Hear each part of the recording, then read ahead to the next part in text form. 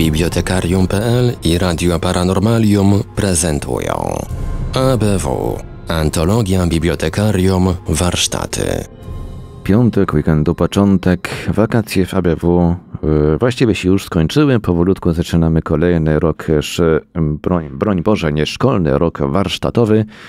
Tym oto odcinkiem, pierwszym yy, w wrześniu roku pańskiego 2021 przy mikrofonie i za stronami technicznymi audycji jak zawsze Marek Sękiewelius, a po drugiej stronie połączenia internetowego są z nami panowie z ABW, Marek Żelkowski i Wiktor Żwikiewicz. Halo, halo Bydgoszcz. Halo, halo. Meldujemy się po wakacjach.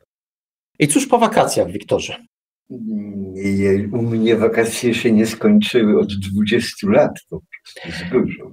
Rozumiem. A no to ja jednak pójdę y, inną linią i powiem tak.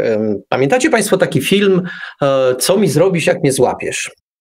Jak nie, no to, to sobie Państwo przypomnijcie. W każdym razie tam jest taka scena, kiedy y, główny bohater y, grany przez Kowalewskiego pyta, pyta co, tam, co tam się dzieje w zakładzie, na co tym mu odpowiada zmiany, zmiany, zmiany. No to u nas też, proszę Państwa, będą zmiany, zmiany, zmiany. E, na czym polegają?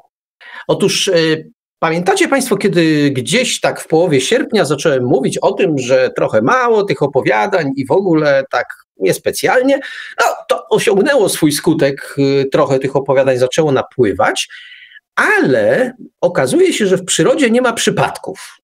Przynajmniej chcę w to wierzyć, że nie ma bo siedliśmy sobie z Wiktorem i zaczęliśmy analizować, e, co w naszej audycji mogłoby być lepsze.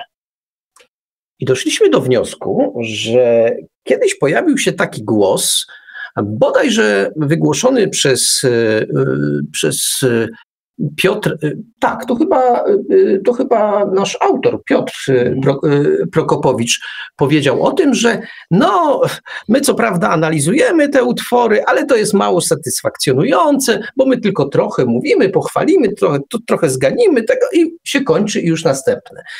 I że to z punktu widzenia prowadzenia warsztatów jest jednak niepełne, bo nie daje autorowi, nie daje mm, tej osobie piszącej no, tego, co jest najważniejsze w warsztatach, czyli mm, jakby to można poprawić, bo my się odnosimy do tego, jakie to jest, jakieś tam drobne uwagi zgłaszamy, ale to nie jest to. No to postanowiliśmy mm, Zamiast dawać oceny, tak jak to robiliśmy w zeszłym roku jeszcze z Tomkiem Fonsem, którego pozdrawiamy, który się w tej chwili zajął pracą no, pff, ja wiem, czy to naukowo, w każdym razie pisze doktorat, no co będziemy owijać w, bawełnę, pisze, pisze doktorat, pisze y, doktorat w swojej obecnej dziedzinie, czyli, czyli w jakichś tam jednak rzeczach, które nie do końca pojmuje, czyli jak nauki ścisłe zastosować w praktyce, jakaś tam mechanika, jakie, no, wybaczcie Państwo, ale ja kompletny, kompletnie niezorientowany, Tomek tu by się zaraz świętym oburzeniem y, zawrzał czy zakipiał, w każdym razie no, doktoryzuje się, rozumiemy, że w tym, w tym sezonie przynajmniej z nami go nie będzie, albo będzie zdecydowanie rzadziej. No my natomiast zmiany, zmiany, zmiany. I do czego te zmiany? Y, no do czego już powiedziałem, ale jak one, jak one będą wyglądały? Otóż będziemy Państwu mówili więcej na temat utworów, które dostaniemy do, oceny, tak? Do, do obróbki chciałem powiedzieć, ale do oceny. Wiktorze. To znaczy, jak dostaniemy coś na warsztat, to nie będziemy wyrażać opinii własnych, nie będziemy mówić, czy mi się podobało, czy trochę nie podobało, będziemy, trochę czy będziemy. Lubię, czy nie lubię i tak dalej, ale raczej będziemy dokładnie analizowali zdanie po zdaniu, y, w akapit po akapicie po prostu samą treść, y, treść utworu i ewentualnie wyrażali opinie na tematy Y, takie związane z tą tomkową mechaniką słowa po prostu. Tak, czy to będzie lepsze, czy gorsze, to się zobaczy, ale w każdym razie po długiej dyskusji z Wiktorem doszliśmy do wniosku, że to będzie zdecydowanie bardziej o, praktyczne i zdecydowanie da, przynajmniej powinno dać więcej naszym autorom, bo w końcu, bo w końcu ci autorzy po coś te utwory y, wysyłają. No, oczywiście po to między innymi, żeby usłyszeć je w wykonaniu Iweliosa. To też jest oczywiście bardzo dobry powód. No ale trzeba też pamiętać o tym, że utwór e, no, musi się bronić, a my będziemy starali się pokazać, że nie zawsze się broni.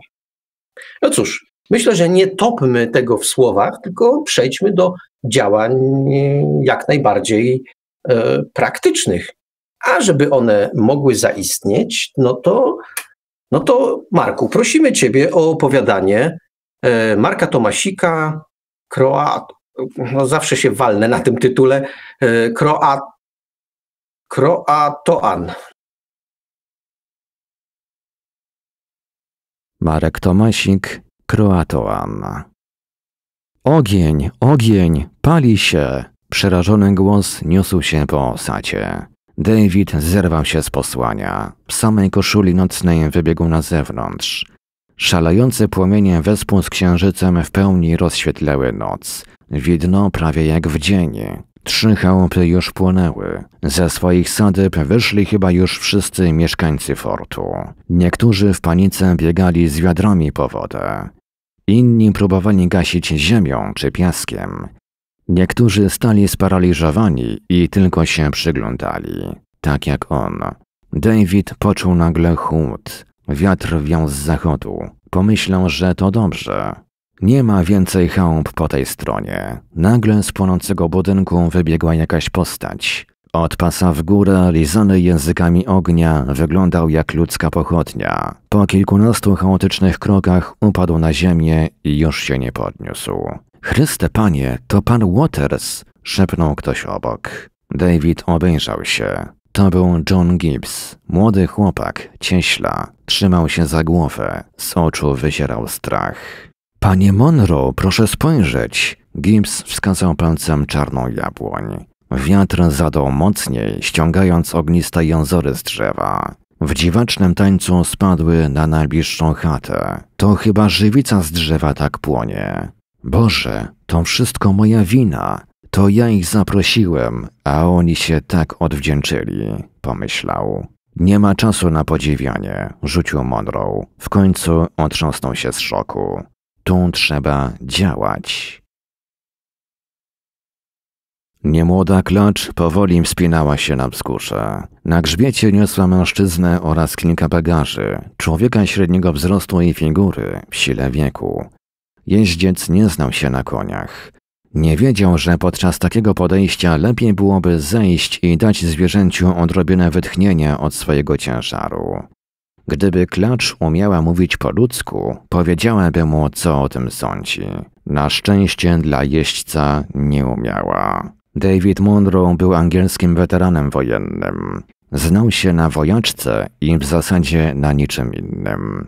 Nie potrafił uprawiać pola, łowić ryb czy doić krów. Budować domów, piec chleba, wypalać cegieł też nie umiał. Potrafił za to zarządzać i polować. Z resztą kolonistów przybył do Nowego Świata kilka miesięcy temu. Ponowiono próbę założenia pierwszej stałej osady w Virginii. Tak nazwali obszar, który obrali za cel kolonizacji. Roanoke miało zapoczątkować ekspansję Anglików, jak niegdyś Santo Domingo Hiszpanów. Monroe wjechał na szczyt wzniesienia. Przed sobą ujrzał krajobraz, o którym do tej pory tylko słyszał od osadników. Kiedyś te tereny pokrywał las liściasty, teraz tylko zgliszcza. Całe akry połamanych, poczerniałych, wypalonych pni. Las kikutów. Od pożaru minęło już trochę czasu. Natura powoli wracała do życia. Coraz więcej zielonych placów pojawiało się na tym czarnym pustkowiu. Z tego co wiedział, wypalaniem zajmuje się plemię Sekotan. Mieszkają na północ od rzeki Czołan. Nikt nie wiedział, dlaczego to robią. Raczej nie w odwacie za krzywdy wyrządzone przez Anglików. Mieszkający na południu Kroatanie też nie wiedzą, albo udają niewiedzę. Po ekscesach, które wydarzyły się podczas pierwszej kolonizacji, wszystko jest możliwe. Jeszcze raz omiótł wzrokiem pogorzelisko. W oddali majaczyły kolejne wzgórza. Gdzieś za nimi znajdował się Fort Lane, cel podróży. Jak myślisz, Manteo, jak daleko są przed nami? Rzucił mądrą, przyglądając się Indianinowi. Manteo z plemienia Kroatan w skupieniu wpatrywał się w ślady pozostawione przez ludzi. Młody, szczupły, niewysoki chłopak z talentem do języków. Gdy koloniści po raz pierwszy przypłynęli do tych ziem, był jednym z entuzjastów ich przybycia. Nieskrępowana ciekawość od początku pchała go w objęcia Anglików i ich stylu życia. Zaowocowało to przyjęciem chrześcijaństwa w obrządku angielskim. Był gorliwym wyznawcą Chrystusa na swój indyjski sposób. Dzień drogi, mruknął Manteo. Oni nie zacierać śladów, oni chcieć, by my podążać za nimi. Czyli wcale ich nie doganiamy. Ciągle trzymają nas na dystans. David wyraźnie się zasępił. To może być długie tropienie, panie Monroe. Indianin wstał z przyklęku. Wioska daleko. Oni iść, nie wiadomo gdzie. Na pewno coś kombinują, a ja muszę się dowiedzieć, dlaczego to zrobili.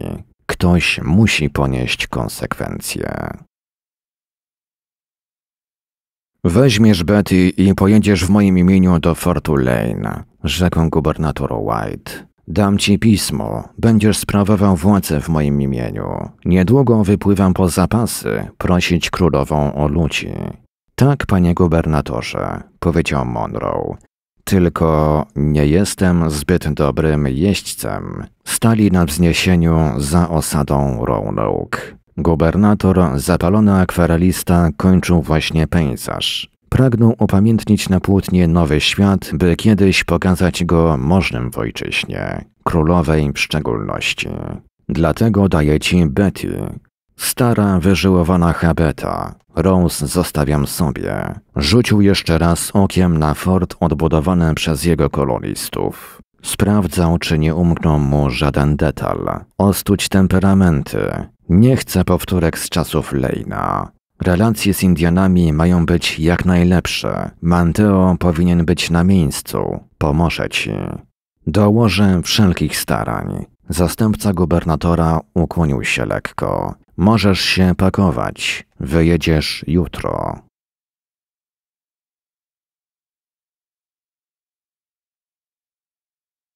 Monroe dojeżdżał do Fortu Lane. Na niewielkim wzgórku znajdowało się kilka chałup skleconych w pośpiechu. Kawałek drewnianego muru postawiony niedawno próbował okalać osadę. Resztę zabezpieczała prosta palisada. Garstka ludzi krzątała się wokół, zajmując się codziennymi czynnościami. Fort Lane, wysunięta placówka na krańcu świata, pomyślał David nazwana na cześć poprzedniego gubernatora Ralpha Lane'a, który jako pierwszy próbował zasiedlić tę ziemię. Szkoda, że pierwsi osadnicy, w zasadzie żołnierze, musieli narobić takiego bałaganu. Po roku z podkulonym ogonem musieli ewakuować się z Roanoke, a potem przypłynęliśmy my, by dokonać niemożliwego. Ludzie z wioski zauważyli go, gdy tylko pojawił się na łysym pagórku. Kiedy zbliżył się do bramy, czyli wąskiej szczeliny w palisadzie, ktoś wyszedł na powitanie. Średniego wzrostu, patykowaty mężczyzna. Odzienie osadnika wiedziało już zdecydowanie za dużo pracy.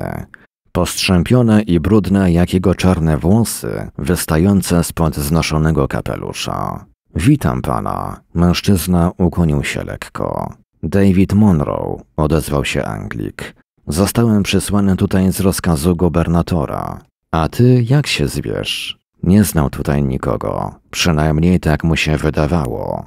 Namiestnik królowej wysłał tutaj grupę ludzi dość wcześnie. Nie miał czasu, by zapoznać się ze wszystkimi, tak jak w Roanoke. Jestem William Waters. Miło poznać. Jeździec zsiadł z konia. Howe jest gdzieś w pobliżu? Pan George powinien być w swojej kwaterze. Zaprowadź mnie do niego.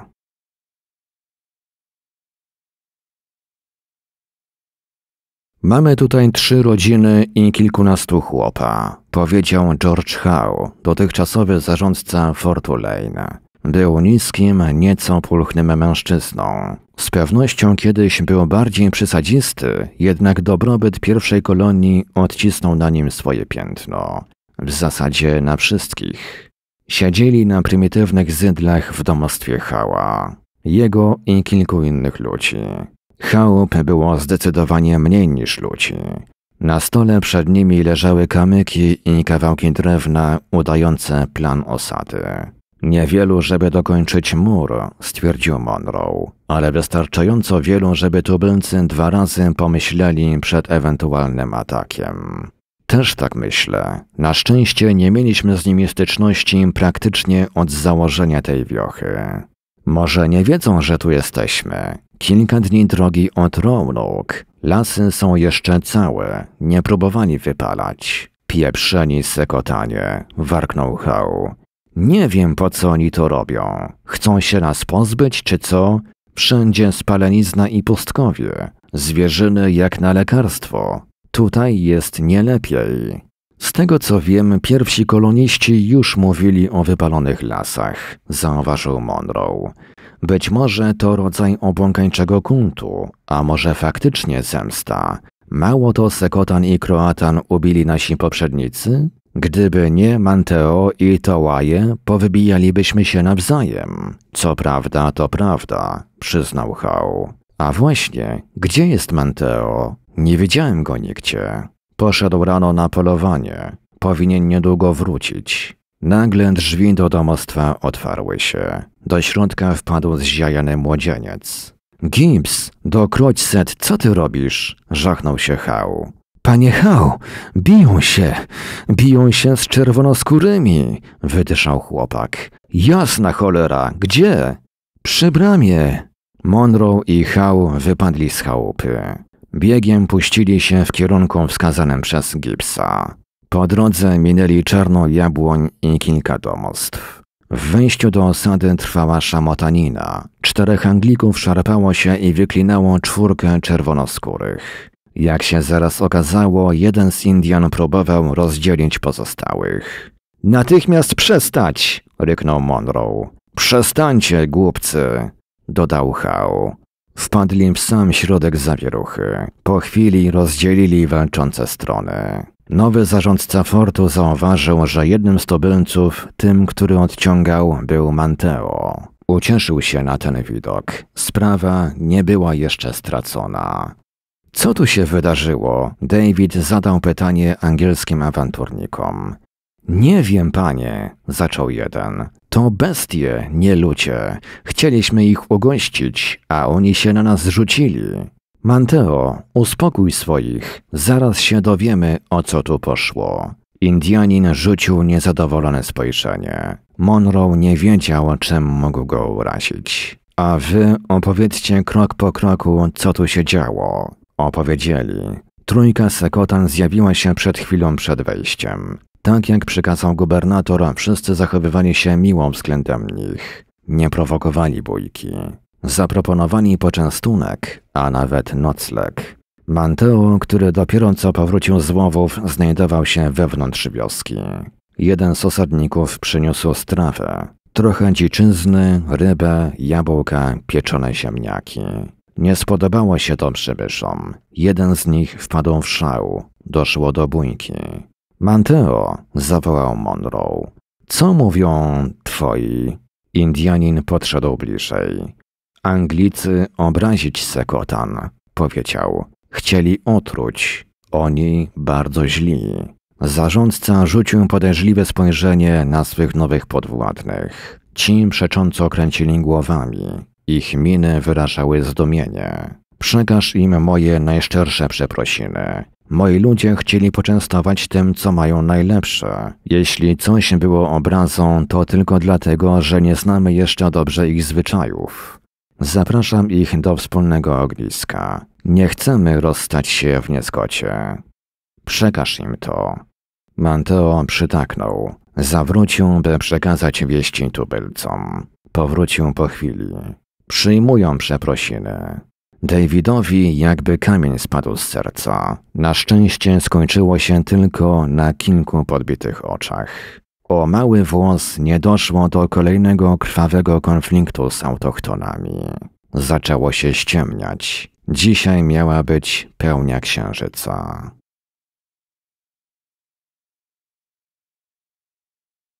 Rodzina Archardów spłonęła. Mruknął Ho, podświadomie macając swoją osmaloną głowę. W czasie pożaru jego zakolastą czuprynę liznął języczek ognia. Na szczęście skończyło się tylko na okopconej fryzurze. Joyce, Arnold i Thomas. To byli dobrzy ludzie. Zamilknął na moment. Grubymi palcami ścisnął swój nos i wysmarkał się. Kurwa, to byli dobrzy ludzie. Stali w kilka osób w chałupie Hoła. Monroe, Howe, Gibbs, Wysoki Lucas, Henry Berry oraz Manteo. Zachodnia część osady cudem ocalała. Spłonął tylko wschód. William Waters. Lubiłem tego pijaczka. Kontynuował były zarządca. Martin Sutton oraz... Y, Richard. Wtrącił cicho Berry. Mój brat. Słodki Jezu, pomyślał David. Szczęście w nieszczęściu, że tylko sześcioro. Panie, świeć nad ich duszami. Myślę, że zrobiło się zbyt niebezpiecznie, rzekł Monroe. Nakazuje pełną ewakuację.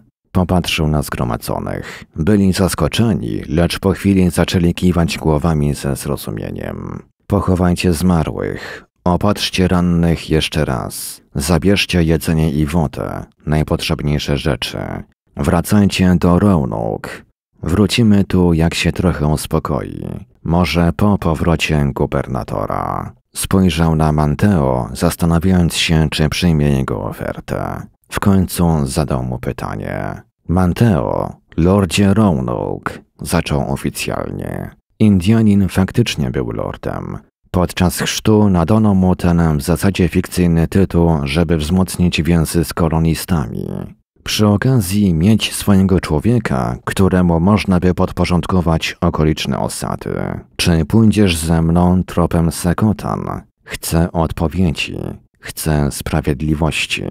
Tubylec rzucił mu nieprzeniknione spojrzenie. Nie sposób było odczytać jego zamiary. Manteo pójdzie, Powiedział po dłuższej chwili. Ja też pójdę, rzucił Berry. Też chcę ich dopaść. Nic z tego. Mądro od razu postawił sprawę jasno. Z tego co wiem, nie masz żadnego doświadczenia w walce.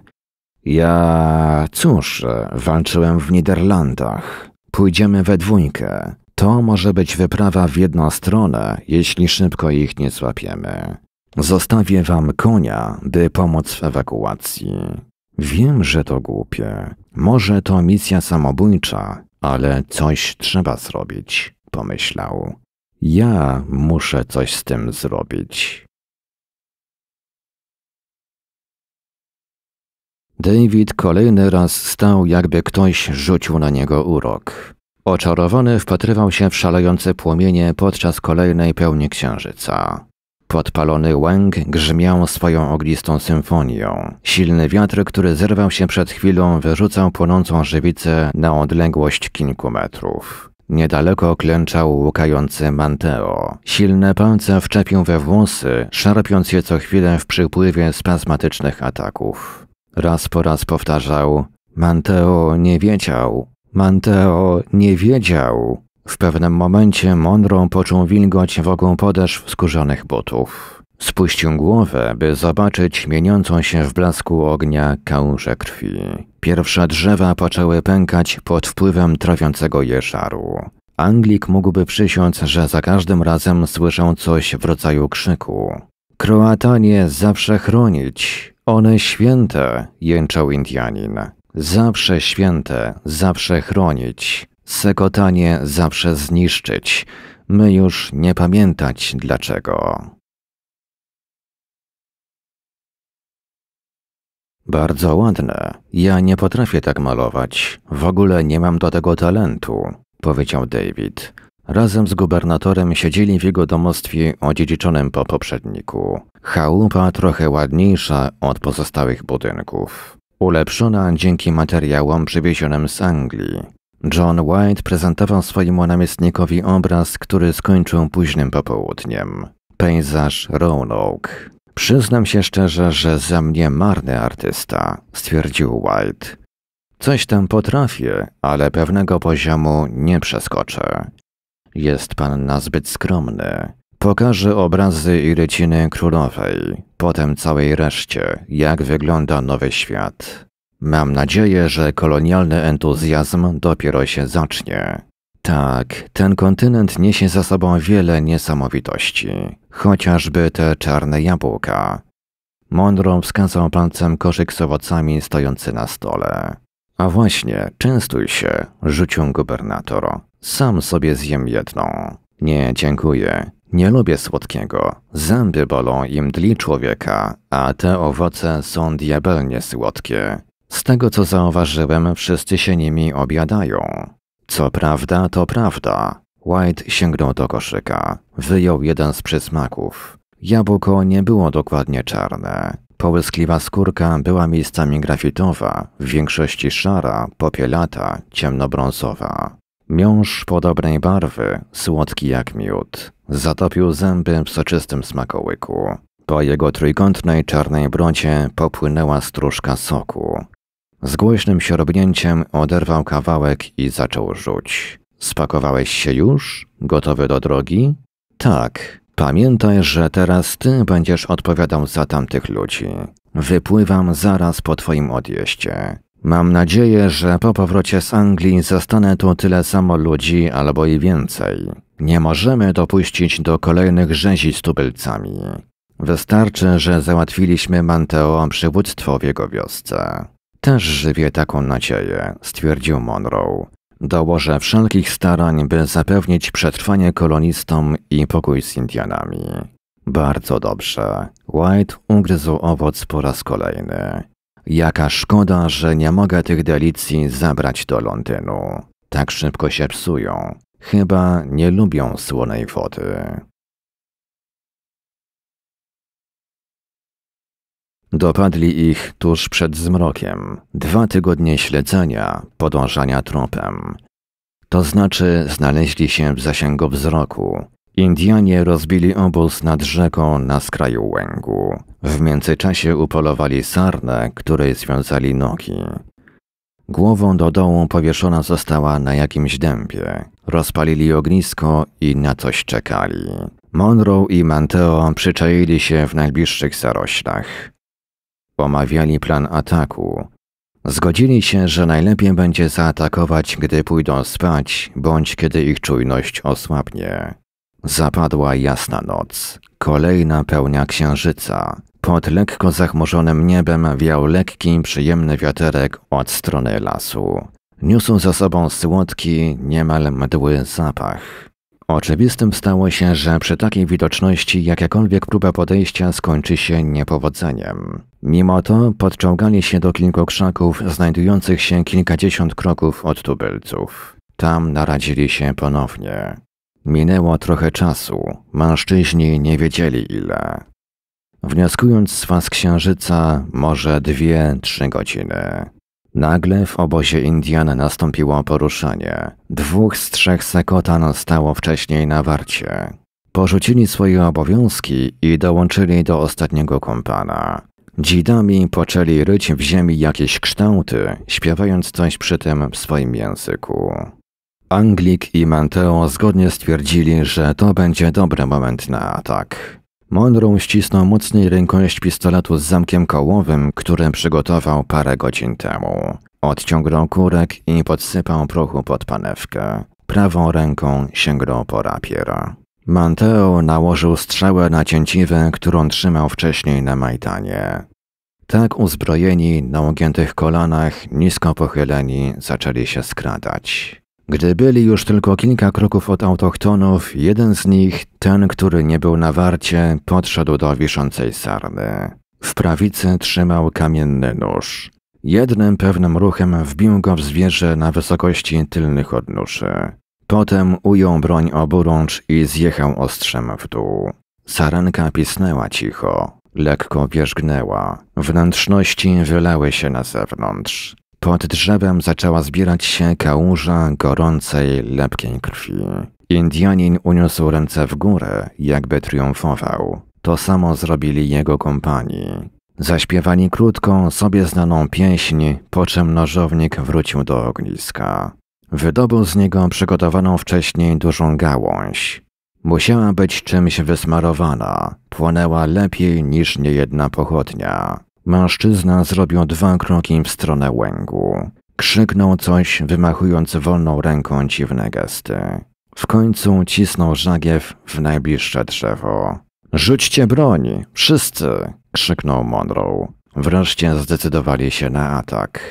Rozumiecie, co mówię? Rzućcie broń! Manteo celował łukiem raz w jednego, to w drugiego. Krzyczał w swoim, jak również w ich języku, aby odłożyli bronię. Monroe dopiero teraz zdał sobie sprawę, że jego pomysł nie był najlepszy. Pistoletem trzymanym w lewej dłoni celował w najbliższego sekotana. Rapier w prawej czekał w gotowości. Zastanawiał się, czy jeśli ktoś ruszy do ataku, zdoła go trafić. Manteo wydaje się sprawniejszym łucznikiem niż jastrzelcem, myślał. Mam jedną kulę. Jeśli spudłuję, będzie krucho. Zostanie rapier, a ja wcale nie jestem jego wirtuosem. Gdybym mógł cofnąć czas. Czego chce blada twarz? zapytał ten z nożem. Blask ogniska odbijał się od jego twarzy, ukazując ostre rysy. Monroe rozpoznał go. Gdy przebywał w forcie Lane, wtedy pobójcę przedstawił się jako Kizisowan. Był przywódcą grupy. Gdzieś głęboko tliła się w nim myśl, że może śledzą innych ludzi, że ktoś inny dokonał podpalenia. Dobrze wiesz czego. Odpowiedzi, warknął Anglik. W jego głosie pobrzmiewał gniew i gorycz. Sześć osób zginęło, sześć niewinnych osób. Chcę wiedzieć, dlaczego podpaliliście osadę, zanim z wami skończymy. Ta wiadomość wyraźnie zaskoczyła tubylców. Nie znali angielskiego biegle, ale wystarczająco, by zrozumieć, że wydarzyło się coś złego. Najwięcej rozumiał Kizisołam. Korzystając z chwili, Manteo tłumaczył w swoim narzeczu. My nie palić wioski, powiedział Kizisołam. Gestem ręki dał znak kompanom, by uspokoili się. Wcześniej ściskali w napięciu włócznie, gotowi w każdej chwili do skoku. Teraz rozluźnili się. Szeptali między sobą. My podpalić tylko Crowtown. Co? Anglik spojrzał na swojego kompana. Na jego twarzy pojawił się grymas zdziwienia. Chcieliście dorwać Manteo? Lorda Roanoke? Przywódca pokręcił tylko głową. Na jego twarzy malowało się rozczarowanie. Blade twarze nie rozumieć, nie słuchać. My tłumaczyć wszystko poprzednim, oni też nie słuchać. My, wojna z Crowtown, od zawsze. To prawda? Myślałem, że zakopaliście topór wojenny, zapytał Monroe. My walczyć z nimi odkąd pamiętam, przyznał Manteo. Ostatnio spokój. Oni bać się bladych twarzy. Manteo nie wiedzieć, dlaczego wojna. Sekotanin przecząco pokręcił głową. Manteo nie Crowtown, zaczął. Manteo dziecię Crowtown. Odwrócił się w stronę lasu. Wyciągnął rękę w kierunku drzewa, które zajęło się ogniem, jakby nasączone było czymś łatwopalnym. To Crowtown. Jak to? Przecież to David dopiero teraz zdał sobie sprawę, że łęk, na który patrzy, złożony jest głównie z czarnych jabłoni. Walczycie z drzewami? Crowtown, nie ludzie, kontynuował Kizisołam. Kiedyś ludzie, teraz drzewa, przeklęte drzewa, pełne księżyc. Palcem wskazał srebrną tarczę na niebie. Crowtown słabe, brak księżyca, silne, owoce zepsute, zatruwać ludzi, zamieniać w bestie, mordować nawzajem, potem umierać, wyrastać nowe Crowtown. Wskazał ręką rozprutą sarnę. Crowtown lubić krew, zapach, otwierać się, Wtedy słabe, bardziej słabe. Manteo! Anglik podniósł głos bardziej niż zamierzał. Wiedziałeś o tym wszystkim? Ogień zaczął roznosić się na sąsiednie drzewa. Z każdą chwilą było coraz jaśniej. Na twarzy Indianina rysowało się coraz większe przerażenie. Crowton święte dla ludzi Manteo, wybełkotał drżącym głosem. My nie jeść owoce, owoc święty, nikt nie umierać, Kizisowan mówić bajki. Monroe zaczynał rozumieć, że znalazł się w miejscu bardzo dziwnych wydarzeń. Wydarzeń, które w Starym Świecie uchodzą za baśnie i legendy. Czczy zabobon, wymysły ludzi, którzy nie potrafią inaczej wytłumaczyć świata.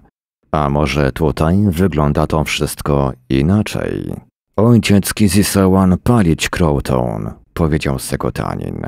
Ojciec ojca też. My nie chcieć palić bladych twarzy. My przepraszać. My nie wiedzieć, że tak się stało. Słodki Jezu, co tu się dzieje? Szepnął pod nosem Monroe.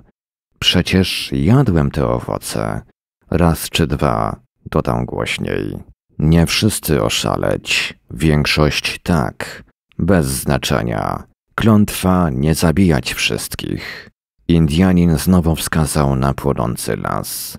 Kiedyś wielka wioska. Oni nie słuchać, nie wiedzieć. Teraz drzewa. Crowtown. Chryste, panie, przecież dwa owocujące drzewa stoją w Roanoke. Powrót do Ameryki gubernatora White'a z przyczyn oczywistych został opóźniony o prawie dwa lata. Anglik z zapasami powrócił do Roanoke dopiero w 1590 roku. Na miejscu zastano opustoszałą osadę, bez śladów walki, tak jakby ludzie zniknęli. Jedynie na kawałku palisady wyryto jedno słowo – Crowtown.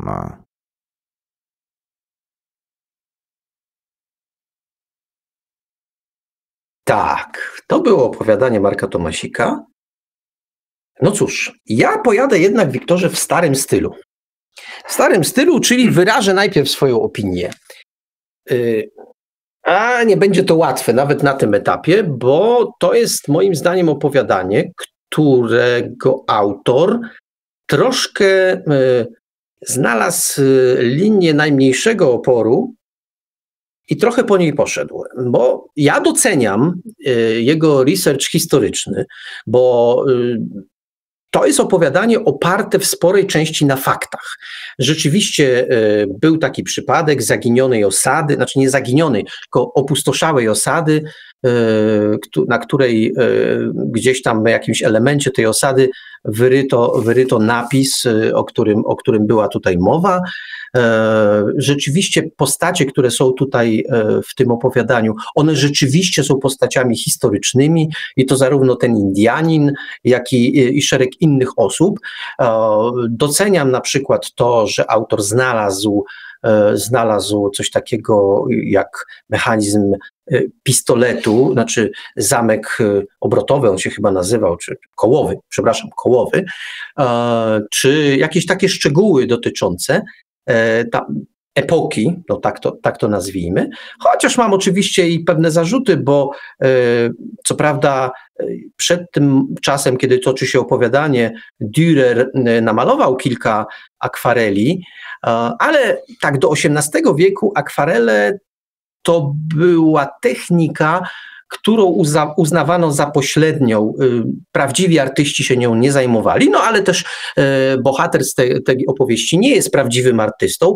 E, traktuje być może te akwarele e, troszkę jak szkic, szkicownik. I okej, okay, to warto by troszeczkę wejść. Nie, nie okej, okay, nie okej, okay, panie Marku. Zdecydowanie nie okej, bo o ile ja e, rozumiem, że to nie było jeszcze modne i, i tak dalej, natomiast Y, kogoś, kto wymalował akwarelą na płótnie,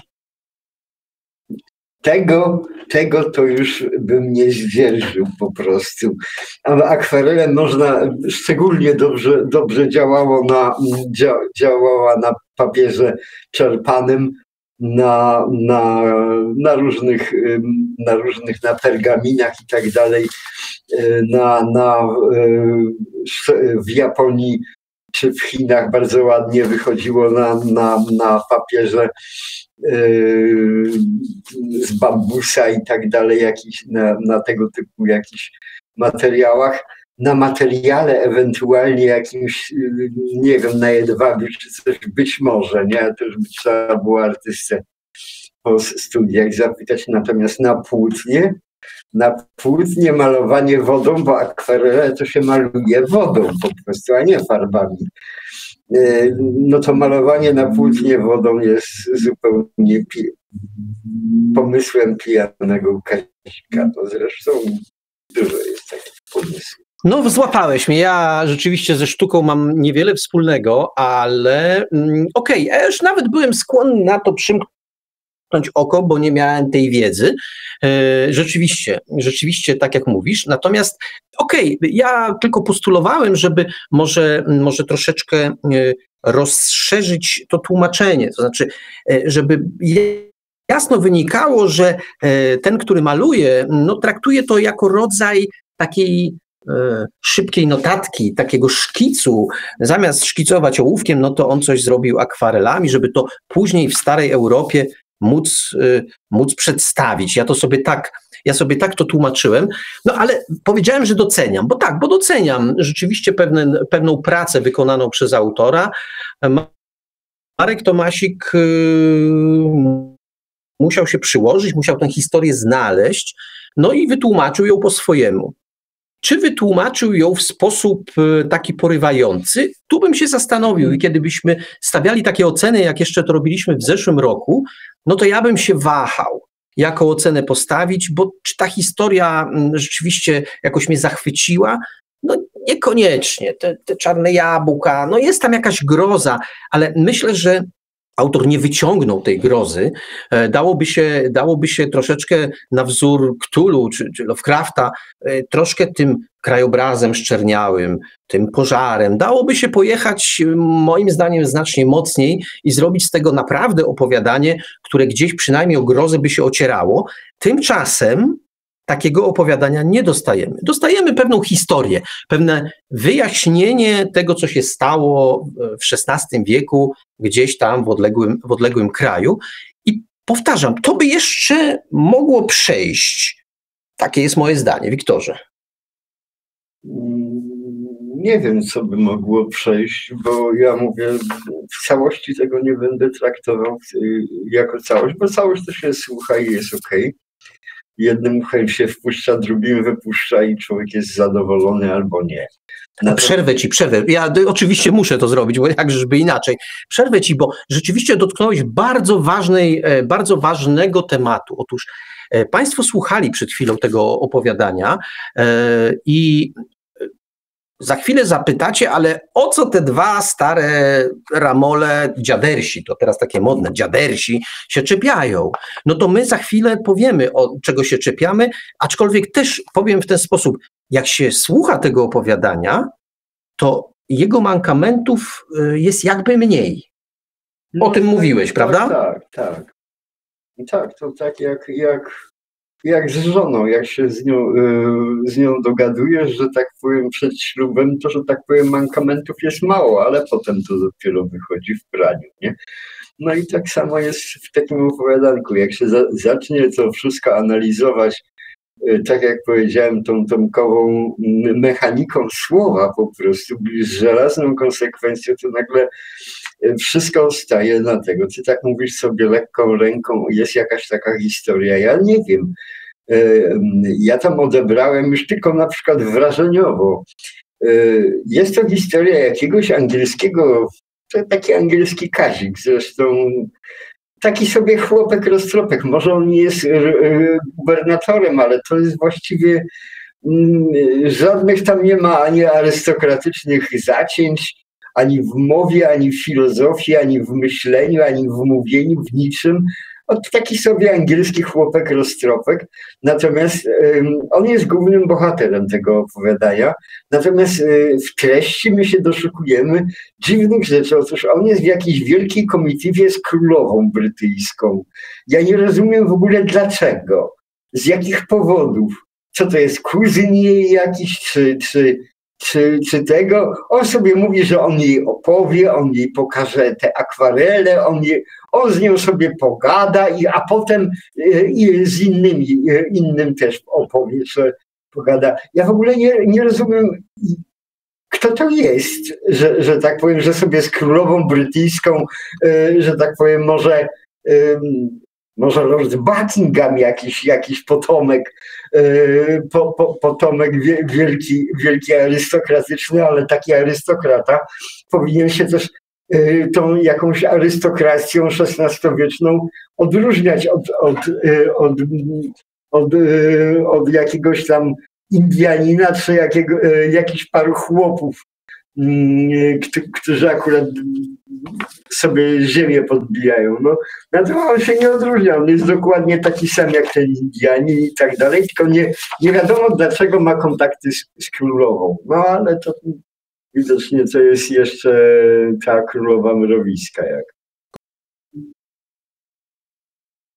Tak, Wiktorze, no owszem. Y, ja mam w ogóle, jeśli myślę o tym opowiadaniu, tak jak powiedziałem, y, najprościej mówiąc, ambiwalentne uczucia, bo ty mówisz, okej, okay, tam się da takie niuanse znaleźć, no e, my zwracamy to, co powiedział Jakie Wik. niuanse? To jest no, okay. podstawa tego Nie, no dobrze, no, ale to, o niuansie to jest tą królową. Warto by takie, takie szczegóły jednak przemyśleć, bo to jakby nie jest wiodące dla, dla, dla tego opowiadania, ale warto takie szczegóły przemyśleć, tak jak ten szczegół, który ty znalazłeś, przyznaję, że ja go zupełnie nie zauważyłem, czyli E, słowo kurwa w pewnym momencie się pojawia, ono tam nie pasuje, po prostu. W porządku, jak, jak, jak się, nie wiem, Julian chyba pisał o, o opowiadanie o Polakach w kosmosie.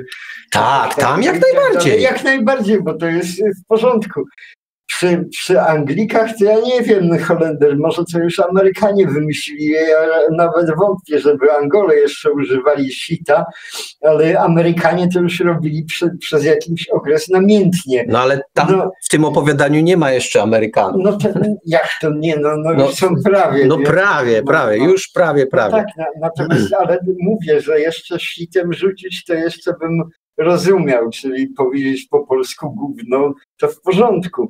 Natomiast y, krzyczeć kurwa, to ja sobie wyobrażam obojętnie jakie tłumaczenie y, Karola Maja z Winnetou Your Shatterhanda, w którym y, siostra Winnetou, a Panashi jakaś tam biegnie do jeziora i woła, potyka się i krzyczy, o kurwa, nie, ojej, to ci dopiero faj, fajne teksty. I żebyśmy byli dobrze zrozumiani, no. Y, i to rzeczywiście jest tak, że brzydkie słowa, to zwróćcie Państwo na to uwagę, brzydkie słowa w każdym języku ale te najbardziej znane, one mają stare źródło słowy. To znaczy, e, no nie będę klął na antenie, ale e, te wszystkie organy męskie, organy żeńskie i tak dalej, one mają naprawdę bardzo długą historię. Natomiast tu zacytowane słowo no jest stosunkowo młode, jeśli weźmiemy w stosunku do tamtych, do, do, do źródłosłowów tamtych słów. Co więcej, no Anglicy, ja mm, nie pamiętam, no nasza, nasza poczciwa kurwa jest jednak wzięta z, z łaciny. Anglicy, ja nie pamiętam, żeby używali takie, oni cały czas mają tę swoją y, beach i tak dalej i to tam ich, to ich rajcuje. E, z przekleństwami trzeba uważać i czas nie ten, ja bym się zastanowił w każdym bądź razie. Znalazłeś nie to. Nie, no dobrze, chciałem delikatnie. No chciałem delikatnie. No okej. Okay. No ja bym w każdym razie nie, nie użył tego słowa w tamtych, w tamtych okolicznościach. Po co my Państwu ten przydługi wykład, który jeszcze będziemy, obiecuję, kontynuować, robimy? E, bo okazuje się, że Czym innym jest historia, którą, którą Państwo e, e, przed chwilą e, słuchaliście, a czym innym są niuanse i szczegóły, które przy słuchaniu historii uciekają. One gdzieś tam sobie uciekają i człowiek nie zwraca na nie uwagi. My teraz Marku, ja się zwróciłem, Państwu... ja zwróciłem uwagę na etymologię słowa fuck, które tutaj pewnie w oryginale angielskim by wystąpiło, gdyby to było po angielsku. I z tego, co tutaj czytam, chociażby na Wikipedii, tak wiem, mądre źródło, bardzo elokwentne, pierwsze wystąpienie wyrazu fuck odnotowano w 1310 roku. A w, E, do, okej. Do, os, do osadzenia się tam, że, że tak powiem, Brytyjczyków w Ameryce, y, na nowym kontynencie, w nowym świecie, no minęło już, y, zdążyło minąć już y, coś, coś z 200 lat z kawałkiem, więc to słowo pewnie, pewnie padłoby. Tak, tak. Tak, tylko y, tu mamy, dochodzimy do pewnego problemu y, ja nie, ja nie odpowiem na ten problem, ale zwrócę wspólnie z Wiktorem na niego uwagę. Owszem, to albo jak on by został z tym fakiem, to jeszcze by było ok. Natomiast y, to jest tak, że jak wrzuci się tę, tę kurę w, tam w, w to konkretne opowiadanie, dzisiaj byśmy tak to przetłumaczyli zapewne, rzeczywiście. Natomiast wtedy to jest zgrzyt i to potężny. Y, Wiktor powiedział bardzo mądrą rzecz przed, y, przed audycją, więc y, uciekłoby bez, bezpowrotnie, to ja to teraz powtórzę. Przypomnijcie sobie Państwo lekturę, kiedy jeżeli czytaliście na przykład Bunsza albo Kraszewskiego, no Kraszewskiego to pewno mniej ludzi czytało, bo to się już powoli przestaje dawać czytać, ale jednak, czy Jaka była różnica pomiędzy tym tekstem, a tym, który wymi- ty- y, autorem, a, a tekstami autorów, których wymieniłem przed chwilą? Otóż taka, że miało się tam wrażenie, że się jest tam, w tamtych czasach, jakby wewnątrz. Autor pisał to w taki sposób, że nie wrzucał, nie wrzucał do, tego, do tej opowieści żadnych mm, naleciałości z naszych czasów. Dlatego można było mieć y, to takie poczucie, że człowiek zagłębia w coś, co jest bardzo stare, dzieje się bardzo dawno i wierzył w to. Ja autorowi tego opowiadania nie wierzę. To jest relacja napisana w XXI wieku, na początku, o tym, jak autor wyobraża sobie e, wiek XVI i to e, na drugim końcu świata. E, ja mu nie wierzę. Ja mogę przyjąć jego opowieść, ok, ale e, pomimo tego, że widać, że włożył sporo pracy w research, poznajdował szereg e, e, eksponatów z epoki, to jednak ja mu jednak nie wierzę. A ty, Wiktorze? No, ale po prostu to jest opowiadanie od tej strony researchu internetowe. Sprawdzamy, notujemy i wmontowujemy do opowiadania. Nieważne zupełnie, jakie były realia tamtego czasu i jakie tego. Oczywiście z tymi realiami można przesadzać. Przypomnę świętej pamięci Gołubiewa, który już, y, którego w ogóle nie można było czytać, ale on naprawdę się napracował. A on w dodatku tego chrobrego napi- rozpisał na tyle tomów, że to się po prostu Tak, na, na półce nie mieściło. tak, ale w sumie to jest genialna, y, genialna literatura, tylko że nieczytelna zupełnie już dzisiaj, nie? Natomiast y, to uwspółcześnianie do jakiejś, y, do, do jakiejś jakąś granicę może mieć, bo pamiętajmy, że XVI czy XIII wiek to jest coś takiego dokładnie takiego samego jak cywilizacja na innej planecie. Jeżeli w science fiction przylatujemy na inną planetę, oglądamy ją, no to nie możemy mówić, że, że tam jakieś e, piaskowe dziadki wy- wyskakują z podziemi i krzyczą o kurwa mać, nie? Albo inne takie kwiatki po prostu. No chyba, że nam tra- translator tak przetłumaczy. No tak, translator może to przetłumaczyć. No faktycznie i to mniej więcej tak tego. Yy, yy, Wiarygodność po prostu tworzenia, tworzenia danej rzeczy w danym czasie, w którym się odnosi, to, to nie potrzeba sięgać nawet do Bursza, ale ani do Kraszewskiego, tylko ja pamiętam jedno opowiadanko pani naszej zaprzyjaźnionej pani Kamili Ciołko-Borkowskiej, która gdzieś tam dwoma, trzema sztychami, że tak powiem, takimi pach, pach, pach, zarysowała sobie e, star, Londyn z czasów Kuby Rozpruwacza i e, niczego więcej nie dodawała. Robiła historię, tak, ale ci ludzie, którzy, którzy tam byli, nosili spodnie takie, jakie się wtedy nosiło, koszule takie, jakie się wtedy nosiło, e, jedli to, co się wtedy jadło i tak dalej, i tak dalej, i tak dalej, nie? Co więcej, No. pani Kamila wspominała, to e, pani Kamila ma cykl w Book Radio e, Pisząca z fiordami i ona w jednym z odcinków wspominała o tym, że dziadersi, czyli my, czepnęli się tego tekstu. Poprawienie go zajęło jej chwilę. No, E, bo ona doskonale wiedziała, że to nie jest tak, że dziadersi się przyczepili, bo postanowili się przyczepić, tylko sama widziała, że jej czegoś tam brakuje. I okazało się, że nakład pracy był minimalny. Minimalny, a efekt był naprawdę, no, super był efekt, po prostu. E, dlatego my tak w tej chwili skupiamy się, to nie jest oczywiście koniec, skupiamy się na, tym, e, na tych realiach, no bo one, można by powiedzieć ten, w ten sposób, o, co prawda to jest opowieść fantastyczna, no ale jednak osadzona w określonym czasie. To jest w gruncie rzeczy bardzo trudne. Jeśli się decydujemy na coś takiego, to trzeba temu trochę czasu poświęcić. Ja tylko, y, oczywiście nie pamiętam tytułu, ale jest takie opowiadanie dziejące się w bardzo podobnych okolicznościach, nawet przyrody, y, napisane przez Sapkowskiego. Mhm. Podobne postacie tam przemykają, y, po, podobne dekoracje, no ale tam jednak człowiek ma świadomość, że znowu zagłębia się w ten świat i to nie jest y, rzecz napisana przez człowieka współczesnego, chociaż jest. Chociaż jest, ale na tym polega pewna magia, pewien czar, y, że to, y, że to właśnie się udaje albo nie. Moim zdaniem autorowi Markowi to, Tomasikowi się to nie udało w tym opowiadaniu, nie zaczarował, opowiedział historię. Opowiedział historię i gdyby on ją opowiadał przy ognisku, to ja bym był pierwszy, który bił, biłby brawo. Bo przy ognisku taką no, opowieść. ja też jakbym wypił dużo. No, ale słuchałeś, słuchałeś, tego jest w porządku.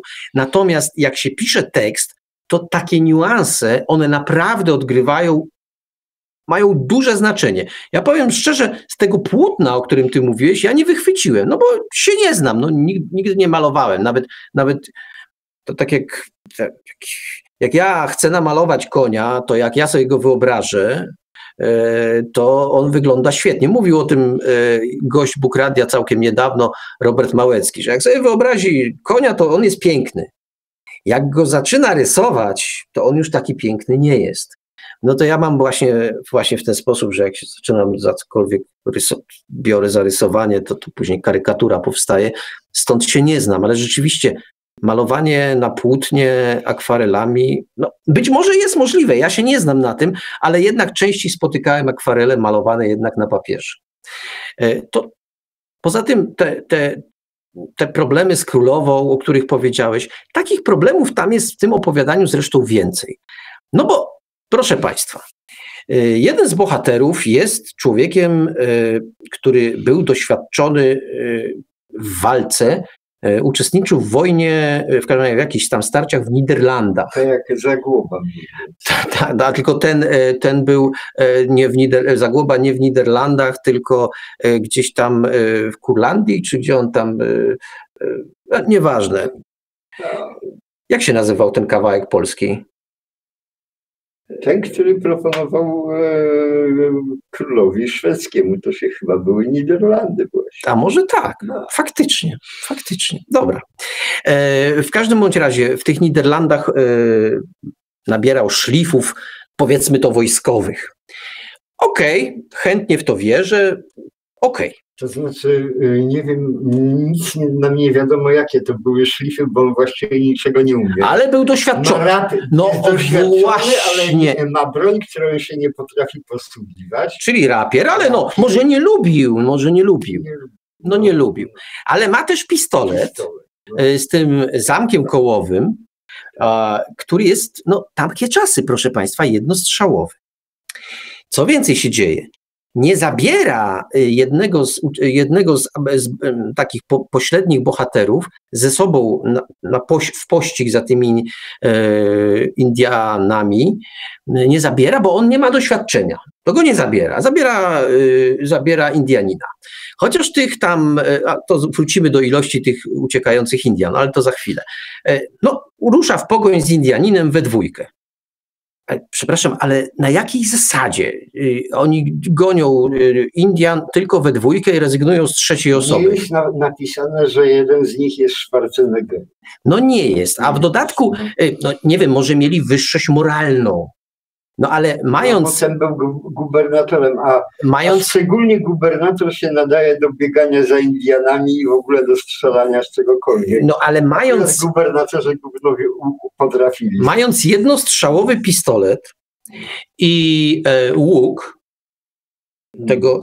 No, ja bym się nie rzucał na dwutygodniowy, dwutygodniowy pościg za, e, za miejscowymi którzy znają lepiej teren i w ogóle, i w ogóle. Co więcej, myślę, że autora poniosło w tym wypadku, bo e, my mamy taką naturalną tendencję, ja sam u siebie ją zauważam, żeby traktować ludzi z przeszłości jako takich głupków. Mhm. Którzy chętnie ginęli bez sensu, albo w ogóle no, oni się jakby tam biegli i poświęcali swoje życie. Otóż nie sądzę.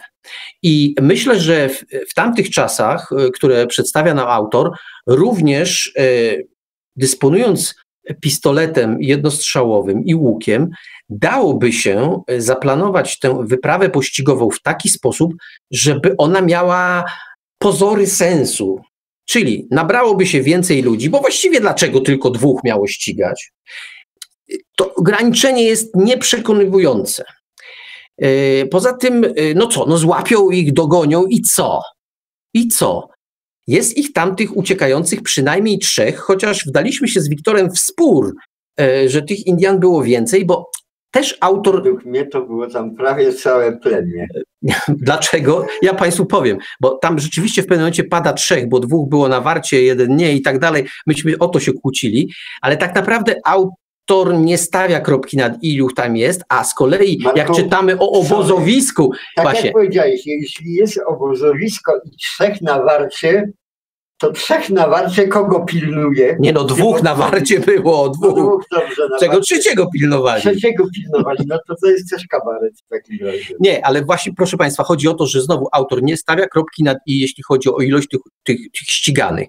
No ale załóżmy nawet, że ich było trzech to i tak mieli przewagę. Dlaczego się decyduje ten Europejczyk gonić ich we dwójkę? Bo co? Bo ma nad nimi moralną przewagę i jak strzeli już z tego jednostrzałowego pistoletu, to później im powie, y, do tych pozostałych dwóch powie piw, paw? No nie. Jeżeli to był racjonalny człowiek, to ścigałby ich, tych Indian w taki sposób, żeby mieć szansę na ich pokonanie. No bo sztuka za sztukę, no dwóch, jeden Indianin, jeden e, człowiek. Jak on nie, od, nie trafi z tego pistoletu, a musiał mieć też świadomość tego, że te jednostrzałowe pistolety, no wiele rzeczy można było o nich powiedzieć, ale nie to, że były jakoś idealnie celne sposób ładowania tej broni, sposób w ogóle ładowania pocisku. Można powiedzieć naprawdę jedyną rzecz e, pozytywną, którą robiły, to huk. Huk, tak. One były znaczy, Jak ktoś no. był doświadczony, to... A, to, jeszcze. To, to, no, błysk jeszcze. No. Jak ktoś był doświadczony, to rzeczywiście strzelał celniej, co nie znaczy, że celnie. E, więc tu jest pewien problem i ścigający miałby tę świadomość, że ta jego broń no to powiedzmy jeden strzał i już drugi raz by jej nie załadował. Dobrze, miał rapier, którego nie lubił, no może by się przydał, ale ci Indianie, no to no ma swojego Indianina, który ma łuk. I to jest kolejna scena, proszę Państwa, której e, brak e, e, real, realizmu. No bo e, tak jak zachowywał się ten Indianin, celując raz w jednego, raz w drugiego, no tak się można zachowywać, trzymając w ręku wielostrzałowy pistolet albo przynajmniej jakąś strzelbę, no to wtedy tak, ale naciągnięty łuk, zresztą to Wiktor lepiej powie, bo to Wiktor też wynalazł to. Nie, no, po prostu jak ja sobie wyobrażam yy, grę piłkę nożną 11 przeciwko 11. Ja jestem na przykład obrońca i stoję z łukiem i leci na mnie siedmiu, a ja naciągam ten łuki y, i, i grożę najpierw jednemu, drugiemu z naciągniętym łukiem, a oni lecą z tą piłką, lecą, nie? a jak grożę, nie?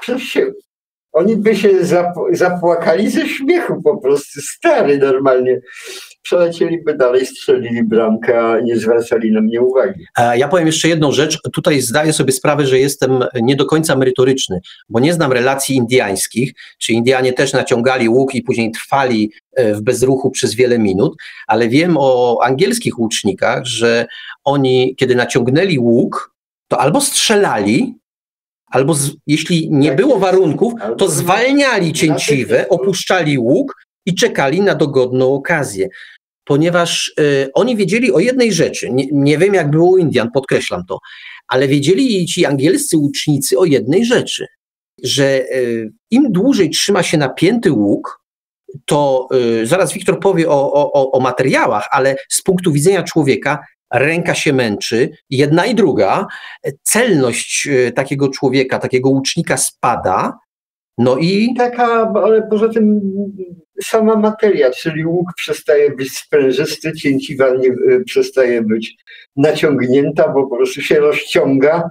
I Jeśli by to często robić, no to. Tak, drugiego strzału już nie ma co oddawać, bo ona jest o, o centymetr dłuższa po prostu niż przed To mocniej się, była, to się naciągnie mocniej, co ty, no co ty. Ona się rozciągała przecież, dlatego nie trzymało się jej nigdy naciągniętej, tylko się natychmiast puszczało strzały albo zwalniało dokładnie, nie?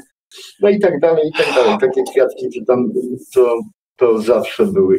No i to, tego trzeba po prostu pilnować takich rzeczy, żeby, żeby to było wiarygodnie i tak dalej. No. Ja myślę, że wiesz, Wiktorze, jeśli chyba już sobie coś przypomnę, ale nie, nie ciągnijmy już tego, no bo to nie, rzeczywiście no. takich, takich momentów, w których moim zdaniem autor się nie zastanowił. Przełożył właśnie realia dwudziestowieczne, XXI wieku na realia tamtejsze.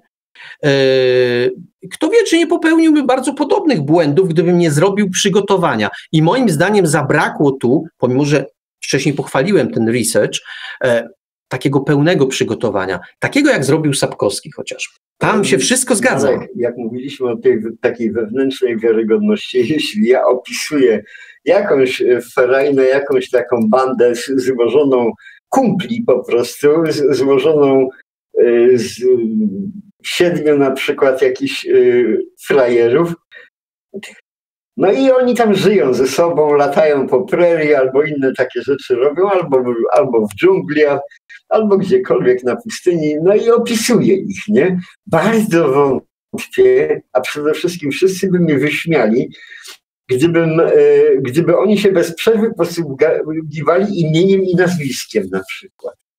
To są kumple. Obojętnie w jakim czasie, e, to są kumple. A tutaj mamy wioskę, w której jest, Boże moja, cztery chałupy i w każdym mieszkają ludzie y, wymieniani skrzętnie z imienia i nazwiska. To może być ważne y, w tym, y, w kościelnych jakichś tam dokumentach, jakie oni mają imię tego. Natomiast tam w tamtych czasach to on miał po prostu, to był Johnny albo to była jakaś tam inna i tak dalej, a gdzie nazwisko? nazwiska. Nazwisko to może miał ten gubernator w ogóle. E, jako jedyny powinien mieć nazwisko, a nikt poza tym, nie? No, Żegnaj, Johnny, zostałeś zastrzelony. No. Że tak sobie zrymuję, bez sensu. E, dlaczego my tak dużo o tym mówimy? Dlatego, że y, opowiadanie Marka Tomasika pokazało, na jakie niebezpieczeństwa naraża się każdy, kto przechodzi, kto miesza y, pewien realizm z opowieścią fantastyczną. No bo Proszę Państwa, tych wszystkich uwag, znaczy części z tych uwag, bo odnośnie samej metody pościgu to bym miał uwagi w każdym wypadku, ale część z tych uwag, o których mówiliśmy, e, wypadłaby z obiegu. Dlaczego? Dla, no, no, z akwarelami też by był problem, ale wypadłaby z obiegu dlaczego? No bo gdyby to nie był świat, y, który, o którym autor pisze, bardzo konkretnie umiejscawia y, pod koniec XVI wieku, to, y, to można by wiele rzeczy wybaczyć. Czy tytulaturę, czy te nazwiska, no chociaż też, prawda, mechanizm jest taki, czy my o każdym naszym znajomym myślimy z imienia i nazwiska? Nie. Myślimy Wiktor, myślimy e, Waldek, myślimy ktoś tam. No cały czas nie powtarzam, że Wiktor ma takie nazwisko i tak o nim myślę. Bardzo często w sytuacjach e, takiego pośpiechu, zagrożenia, czy w ogóle w różnych takich codziennych sytuacjach też e, raczej się nie rozbudowuje, tak. nie, nie rozbudowuje tego, tego wszystkiego. I wrócę do myśli, że to jest właśnie to niebezpieczeństwo. Jeśli umiejscawiamy nasze, naszą opowieść w bardzo realnym czasie, to ten czas trzeba bardzo mocno zanalizować. I tu znowu odwołam się do Sarkowskiego, żeby już nie sięgać do tego opowiadania, bo nie pamiętam tytułu, to odwołam się do, in, do, innego, do innego utworu. E, wspomnijcie Państwo trylogię husycką. Narenturm czy pozostałe tam y, oczywiście dzieją się rzeczy y, bardzo skwapliwie zanalizowane. I ktoś tu zaraz szybko powie, no tak, tak, ale przecież Sapkowskiego w wielu miejscach złapano na tym, że on nie stosuje tej metody, o której panowie tutaj ględziliście bardzo pracowicie. U niego też widać, że pisze to y, się z perspektywy XX wieku, bo tam się pojawiają czasami rzeczy, które się pojawić tam nie powinny. Ale Sapkowski E, nie dlatego, że jest Sapkowskim. Widać, że on to wykorzystuje. Mieszanie e, tych czasów wykorzystuje do pewnych. E, no, tam się na przykład w pewnej karczmie pojawiają planety i to więcej niż wtedy powinno się ich znać. No w ogóle to obraz się bardzo, bardzo taki, bardzo malowniczy pojawia, ale absolutnie nie na tamte czasy. Ale też Sapkowski ewidentnie tworzy taką taką opowieść, taką meta-opowieść, taką y, miesza konwencję, robi to, co się robi w literaturze dwudziestowiecznej, czyli nadbudowuje pewne rzeczy i on dzięki temu osiąga pewien cel. Tu mam wrażenie, że w tym opowiadaniu y, Marka Tomasika nie jest to robione specjalnie, bo nie widzę celu, nie dostrzegam tego celu, któremu miałoby to służyć. I to jest ta różnica. No, e, pewne rzeczy robi się po coś. Gdyby tutaj pojawił się nagle w tym opowiadaniu, chociaż on by tu zupełnie nie pasował, jakiś bohater, który by pozostałym bohaterom przedstawił, e, wyświetlił w powietrzu układ planetarny składający się z ośmiu czy też jeszcze przed reformą, dziewięciu planet, e, Słońcem w centrum i ty, ty, tymi kulami wirującymi. I to byłby element dziwny tego świata, być może jakiejś tam e, pewnej nierealności, no bo w XVI wieku nikt nie wiedział, ile tych planet tak naprawdę jest, było ich przynajmniej dla ówczesnych znacznie mniej, no to moglibyśmy się zastanawiać, że po coś autor tego użył. Gdyby to później skrzętnie wykorzystać, to by się dało to roz, rozbudować. A tutaj czasami pojawiają się natomiast takie niedociągnięcia, które nie wynikają z, plano, z zaplanowanej przez autora akcji, tylko no właśnie z czego? Z niedoczytania, z pośpiechu. Pośpiech nigdy nie jest dobrym doradcą do pisania. No to takie masło, masło, masło maślane albo taka, taka dziaderska, dziaderska, dziaderska uwaga z mojej strony, ale no tak jest, proszę Państwa. No, tego się nie robi. Wiesz, w malarstwie to ładnie y, jest zawsze lepsze słowo, bo przed dziełem jest szkic.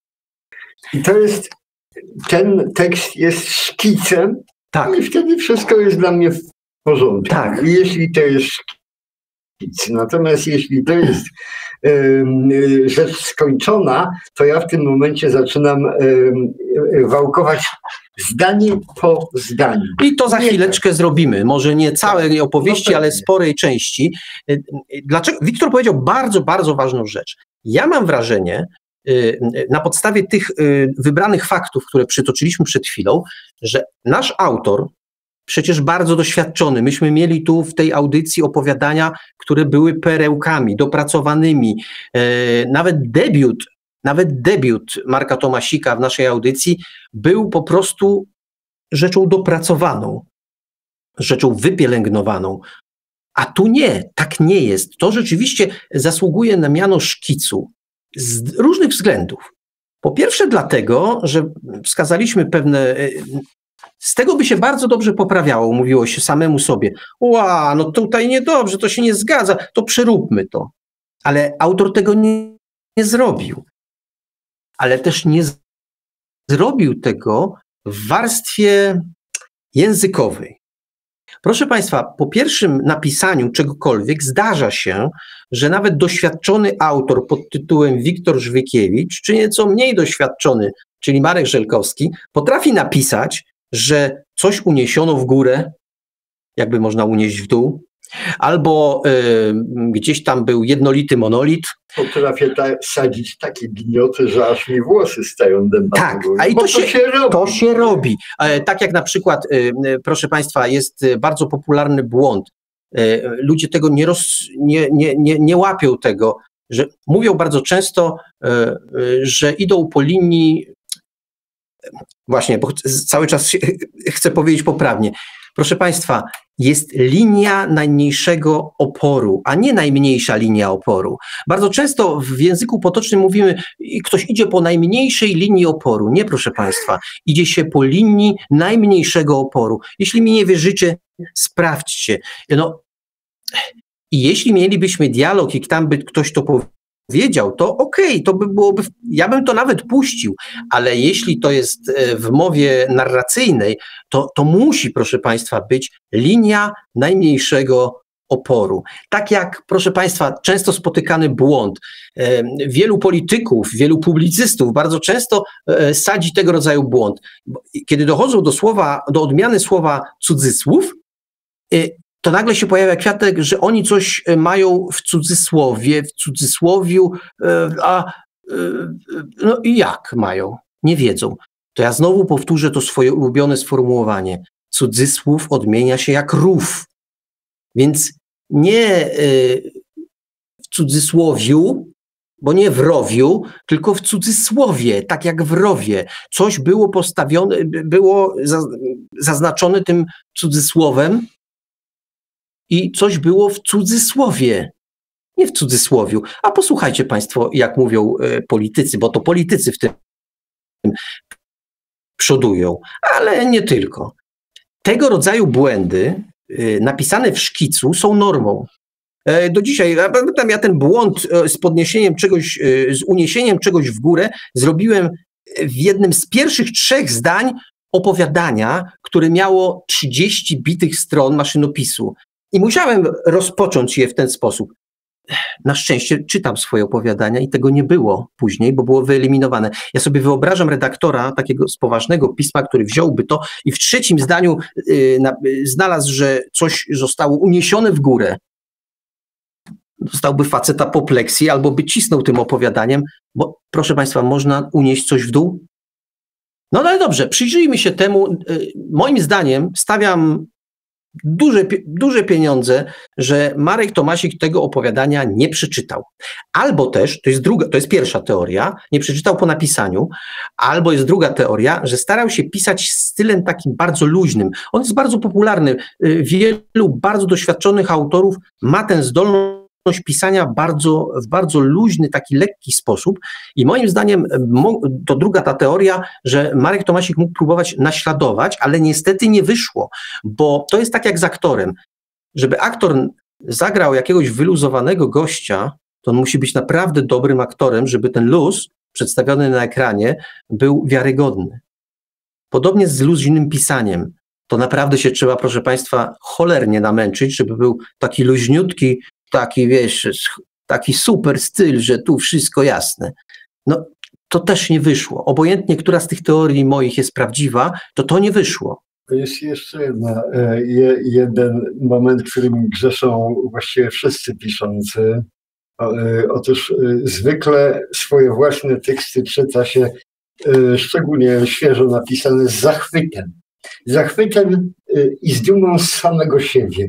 Ach, jak ja wspaniale, jak wymyśliłem, o jak tu pojechałem, o jak tego i tak dalej. I w ten sposób galopując, y, po chwili przestaje się już w ogóle czytać swój tekst tylko bez przerwy wylatują nam w głowie obrazy, które, że tak powiem, niby żeśmy ten. Ja, ja mówię o obrazach szczególnie, bo to yy, my jak czytamy tekst, to mniej więcej wiemy, jaki obraz chcieliśmy, yy, żeby wywołał się w umyśle czytelnika. Ale jak już potem czytamy, to już nie, yy, sami nie wpadamy na ten obraz, bo my już wiemy, jaki obraz powinien, powinien czytelnik mieć w głowie. I bardzo zwykle w stu procentach właściwie to jest pomyłką, gdyż ten obraz w ogóle nie ma podstaw, żeby się pojawić w głowie czytelnika. Żadnych danych nie ma do tego, to tylko my wiemy. Ten zachwyt samym sobą to jest, no ale to przywara ludzka. Kilka cytatów z rzeczonego opowiadania, i które są dla mnie dowodem, że Marek Tomasik nie czytał tego opowiadania albo czytał je w sposób mało wnikliwy. Czytam. Cytuję. Dawid zerwał się z posłania. W samej koszuli nocnej wybiegł na zewnątrz.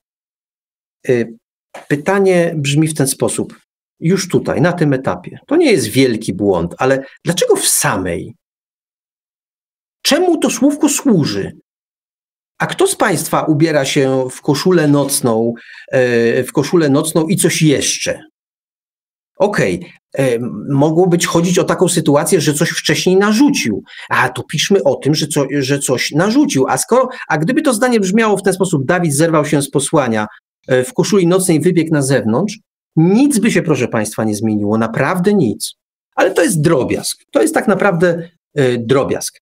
Bo otóż czytamy dalej. Szalejące płomienie wespół z księżycem w pełni rozświetlały noc. Następne zdanie. Widno prawie jak w dzień.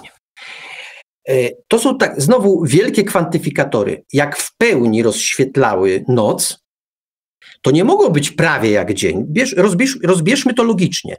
Jak w pełni rozświetlały noc, to było jak w dzień. Ale pewno nie o to chodziło autorowi, no bo nie mogło być, czyli cofnijmy się, w pełni rozświetlały noc, a więc te płomienie po prostu rozświetlały noc. To wtedy zgoda. Nie musi być w pełni płomienie wespół z księżycem. Słowo wespół, no, mnie się nie podoba, ale to już kwestia gustu. No bo tak, proszę Państwa, jak to zdanie by brzmiało, yy, brzmiało, że te, w pełni, z, księżyc, yy, z księżycem w pełni. Ach, Wiktor, ja wiem, teraz jak czytam, bo to księżyc w pełni. Tak, potem, potem znowu był w pełni. Jak do nie, nie, ale tych całych tam, co uciekali, no, to też był. Tak, tylko proszę Państwa, ja dopiero teraz, po pierwsze należy, należy odpowiednio jakby manipulować znakami przystankowymi, ale w tym wypadku e, trzeba też brać pod uwagę, że słowo w pełni e, ma podwójne znaczenie. Ja to odczytałem, wespół z księżycem w pełni rozświetlały noc, że one w pełni, w całości rozświetlały noc. Nie, nie, ale tu chodzi autorowi, że ten księżyc był w pełni to jest pułapka, której się nie da uniknąć i trzeba po prostu wyeliminować to sformułowanie, tym bardziej, że księżyc pełni pojawia się później. Y, to apeluję, to po prostu nie da się tego, bo nikt nie zabroni odczytać tak, jak ja to odczytałem za pierwszym razem, albo tak, jak to czytałem za drugim. Czyli całkowicie rozświetlały noc po prostu. Tak, ale nie, ale to chodziło, no, ale księżyc był w pełni, no, rozumiem, bo nie był w nowiu. nie wynika. Nie wynika ze zdania. Właśnie to jest pułapka języka polskiego, że on niestety jest często wieloznaczny, a jeśli y, doprowadzamy do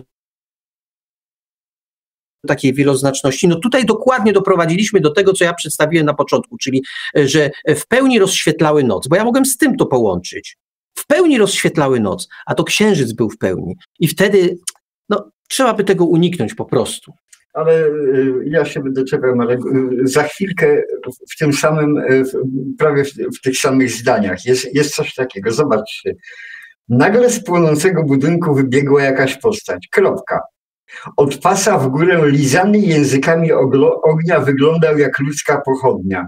Czy postać to jest on? No to sobie dokładnie zobacz, tu na moim napisałem. Postać no. czy on? No. Trzeba się zdecydować, czy to jest postać czy on. Ja wiem, że autor to wiedział, że to był facet. No tak, ale... Ja wiem, ale myśmy tego, no, później też już wiedzieliśmy, ale, ale y, czytelnik nie ma szansy. Y, poza tym powtarza się tutaj słowo nagle, bo Dawid poczuł nagle chłód Wiatr wiał z zachodu, pomyślał, że to dobrze. Nie ma więcej chałup po tej stronie. Nagle z płonącego budynku.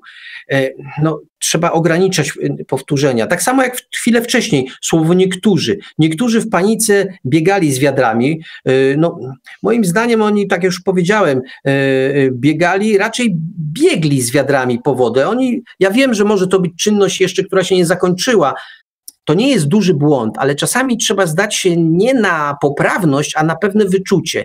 Bo ja sobie, jak oni biegali, to, to on cały, to w takim razie dłużej stał i patrzył, jak oni raz biegali, drugi raz biegali. No, to się, nie, to się słabo sprzedaje po prostu. Dalej. Nagle yy, yy, tutaj, kawałek dalej. Mło, yy, Dawid obejrzał, obejrzał się. To był John Gibbs, młody chłopak, cieśla no to jest właśnie ten podnoszenie do góry. A widzieliście Państwo starego chłopaka? Ja wiem, y, y, jakby ktoś napisał stary chłopak, e, mógłbyś to zrobić na zasadzie pewnego z przekąsem.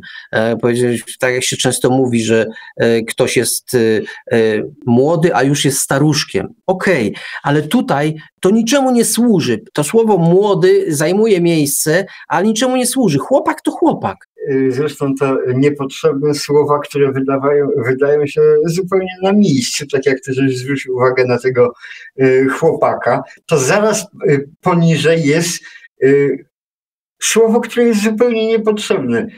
Gibbs wskazał palcem czarną jabłoń, a po cholerę ten palec wskazać mógł czymkolwiek, ruchem głowy, gestem jakimś i tak dalej. Wskazać mógł również palcem, ale zobaczcie, że to zdanie się całkiem dobrze czyta. Kiedy, panie Moro, proszę spojrzeć, Gips wskazał czarną jabłoń. Koniec, kropka. Nie, nie, nie, wtykamy niepotrzebnych rzeczy. No, autor mógłby no. się przyczepić y, do tej twojej uwagi, y, ja się z nią zgadzam zresztą, mhm. notabene, mógłby się przyczepić, no ale przecież to ja jestem panem tej opowieści, ja chcę, żeby on pokazał palcem. Tylko pytanie autorze, ale po co? Po co ci to jest potrzebne? Chcesz sobie coś udowodnić, że to on musi, że jesteś panem opowieści i on musi wskazać palcem? Dla opowieści nie ma to żadnego znaczenia. Jeśli on ma wskazać. Ja autor mogę w takim razie żądać, żeby on kopnął mnie nogą koniecznie. Tak.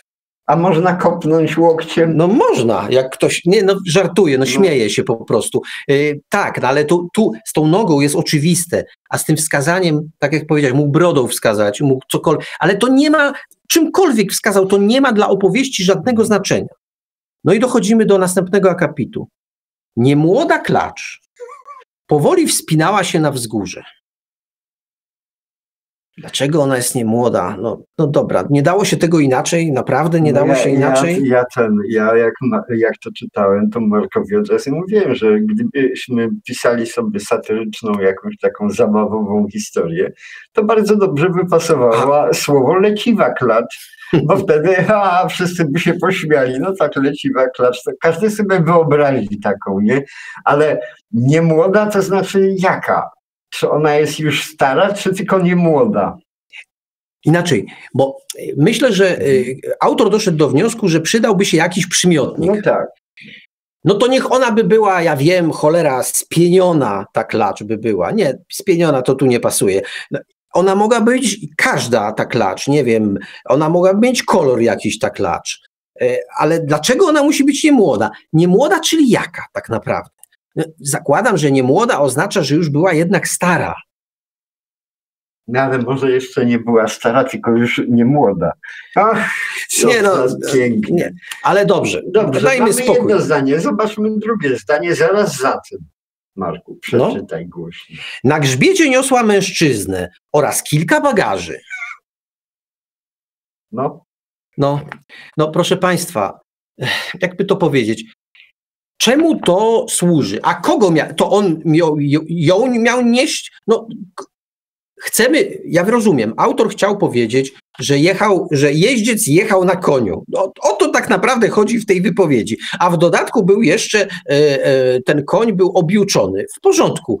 To chciał napisać autor a przedstawił to w takiej formie, która no, moim zdaniem, tak jak Wiktor to sugerował, y, raczej budzi uśmiech. No, budzi no uśmiech. No bo jak ja mam bagaż, to mam bagaż, ale jak, jak idę sobie po ulicy, mam kilka bagaży, to wszyscy się muszą na mnie oglądać, no bo jak wygląda człowiek albo No, koń nie, z ale ja- bagażami. No ale rozumiem, że ja wiem o co chodzi. Ja, znaczy, inaczej zrozummy, proszę Państwa, bo ja wiem, że na poziomie takim obrazów, to to Państwo sobie są w stanie wyobrazić tego konia, który miał tam przytroczone do siodła w kilku miejscach, coś tam.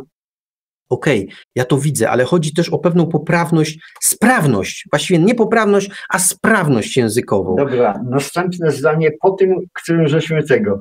Yy, niosła kiel- człowieka średniego wzrostu i figury w sile wieku. Yy, Ja rozumiem, że yy, człowiek jest średniego wzrostu, ale jeszcze w życiu nie, nie słyszałem o człowieku yy, średniej figury. Na przykład. Tak. No dalej. E, mm, e, Dalej, gdyby klacz umiała mówić po ludzku, bo on tam nie zsiadł z tej klaczy i na podejściu tam. Gdyby klacz umiała mówić po ludzku, powiedziałaby mu, co o tym sądzi. Na szczęście dla jeźdźca nie umiała. Proszę Państwa, to jest pomylenie konwencji. Tak można napisać, ale nie wiem, tak Pratchett mógł napisać w swoim świecie dysku, e, gdzie w ogóle różne rzeczy, e, różne istoty mówią i, i tak dalej.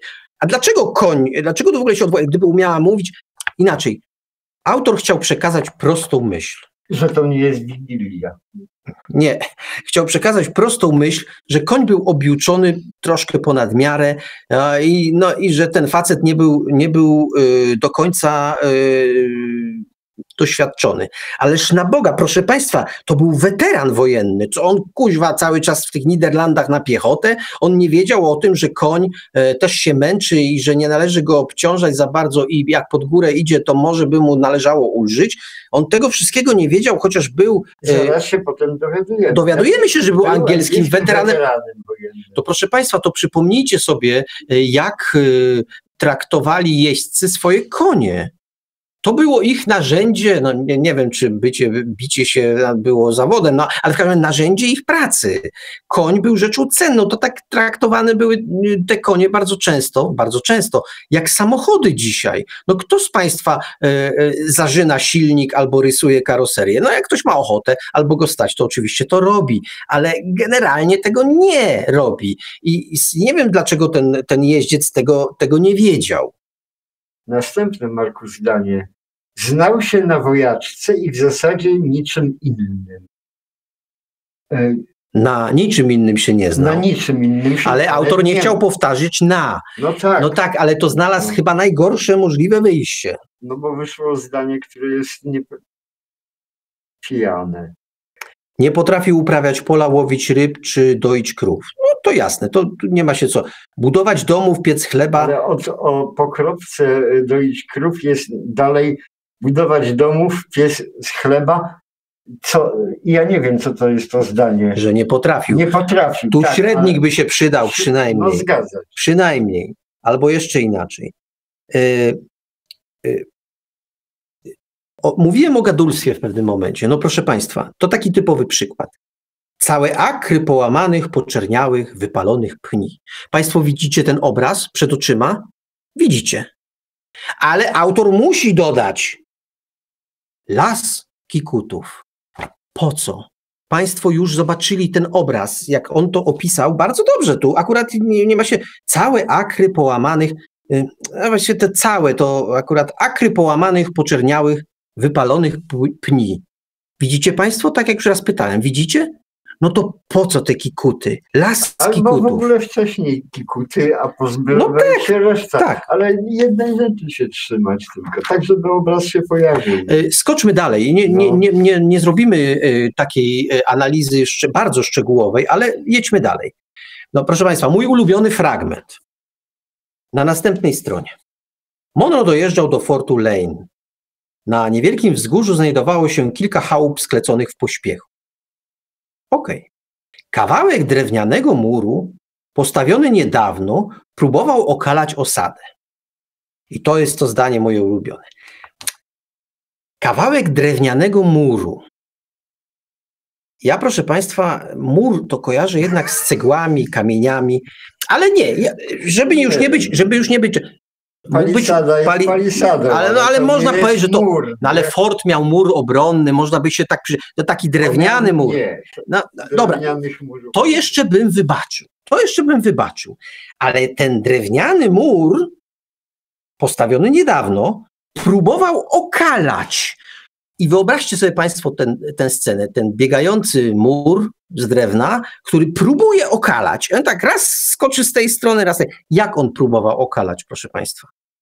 To jest po prostu niezręczność, która je, którą jeszcze pogłębia nie, tę niezręczność e, dalszy fragment. Resztę zabezpieczała prosta palisada.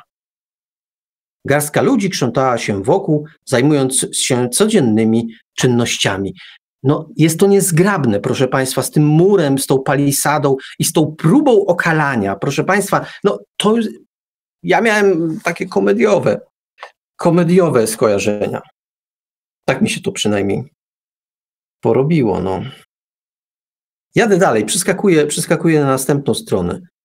Yy, miałem problemy ze zrozumieniem yy, tego, co jest na następnej stronie, bo oni sobie siedzieli na prymitywnych zydlach w domostwie Hoła, jego, jego i kilku innych ludzi. Chałup było zdecydowanie mniej niż ludzi. Yy, ale tych, na stole przed nimi leżały kamyki i kawałki drewna udające plan osady.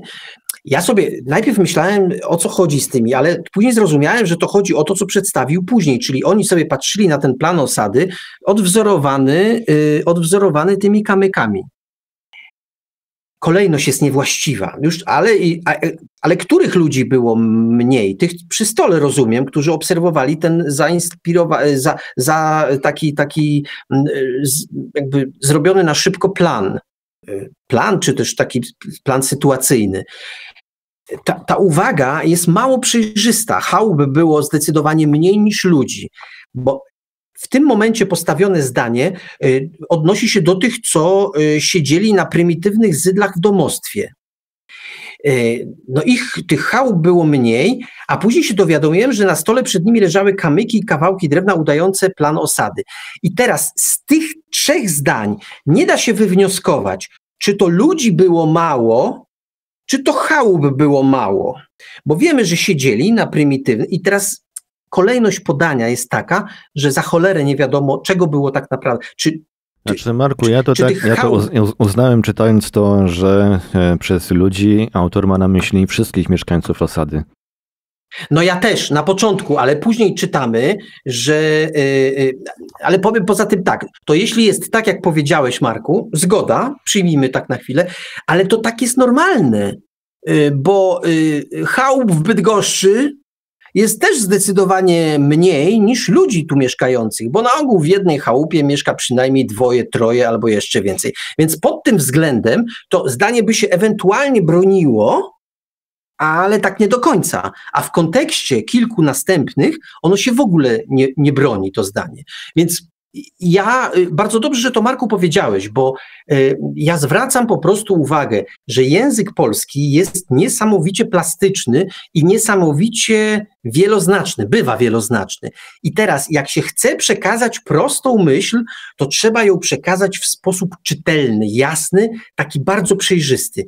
Jeśli się to zrobi tak jak tutaj, że siedzieli na prymitywnych zydlach w domostwie Hoła, jego i kilku innych ludzi, chałup było zdecydowanie mniej niż ludzi.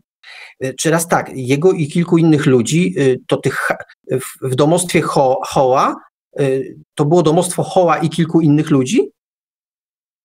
Bo tych chałup było mniej i oni każdy. Czy, czyli autor chciał, czy autor chciał nam powiedzieć, że po prostu wielu ludzi mieszkało w jednej chacie i przez to chałup było mniej? Naprawdę, gubimy się w domysłach, bo coś jest nieprecyzyjnie przedstawione. I ja wiem, że autor w tej chwili może skwitować nas, no to leśne dziadki, dziadersi, to jak wy czegoś nie wiecie, ale ja wiem. No, no właśnie o to chodzi. Właśnie o to chodzi, że autor to świetnie wie i nie skonfrontował tej swojej wiedzy z tekstem napisanym. Ja teraz sobie przypominam jedną rzecz, która mi chodziła po głowie tak na chwilę od tekstu odskoczę. Otóż w całym opowiadaniu pojawia się, no trzeba jakoś tego głównego bohatera y, personifikować. No i czasami to jest gubernator, czasami to jest y, z nazwiska, już nie pamiętam jakiego, ale czasami ni z gruchy, ni z pietruchy jest to Anglik. O. To tak jakby, że tak powiem, ja wyszedł w Warszawie na spacer i, i w, w, łazien... w łazienkach zobaczył Polaka. Nie? I a to Żelkowski się skradał. To Żelkowski się skradał. Przepraszam bardzo. My w Bydgoszczy nie ma Polaków, tylko są mężczyźni, kobiety i tak dalej. No ewentualnie bydgoszczanie są też. No ewentualnie bydgoszczanie. Ale to też tak nie w każdej sytuacji. No, no. Zgadza się. Natomiast słowa Polak nie używamy do tego. Jak jesteśmy za granicą i zobaczymy Polaka, jak usłyszymy oczywiście to gdzieś za, za narożnikiem ulicy o kurwa, to wcale już nie musi być Polak, bo to już się wielu nauczyło od nas. No, no ale to wtedy tak, nie? Natomiast y, to y, z tym Anglikiem to mnie cholernie drażniło, no bo nagle, nagle się pojawia no Polak Jedźmy dalej, no, Wiktorze. No. E, rozmawiają o tej wyprawie. Nic z tego. Monroe od razu postawił sprawę jasno. Z tego co wiem, nie masz żadnego doświadczenia w walce. Ja, cóż, walczyłem w Niderlandach. No, w świetle tego już to mówiłem, w świetle tego, co dzieje się później, to, to jego doświadczenie wojskowe, mógł spokojnie zabrać tego gościa, y, bo sam niewiele się różnił doświadczeniem od tego, od tego gościa, którego umiejętności zakwestionował. Na następnej stronie. W pewnym momencie Monroe poczuł wilgoć wokół podeszew skórzanych butów.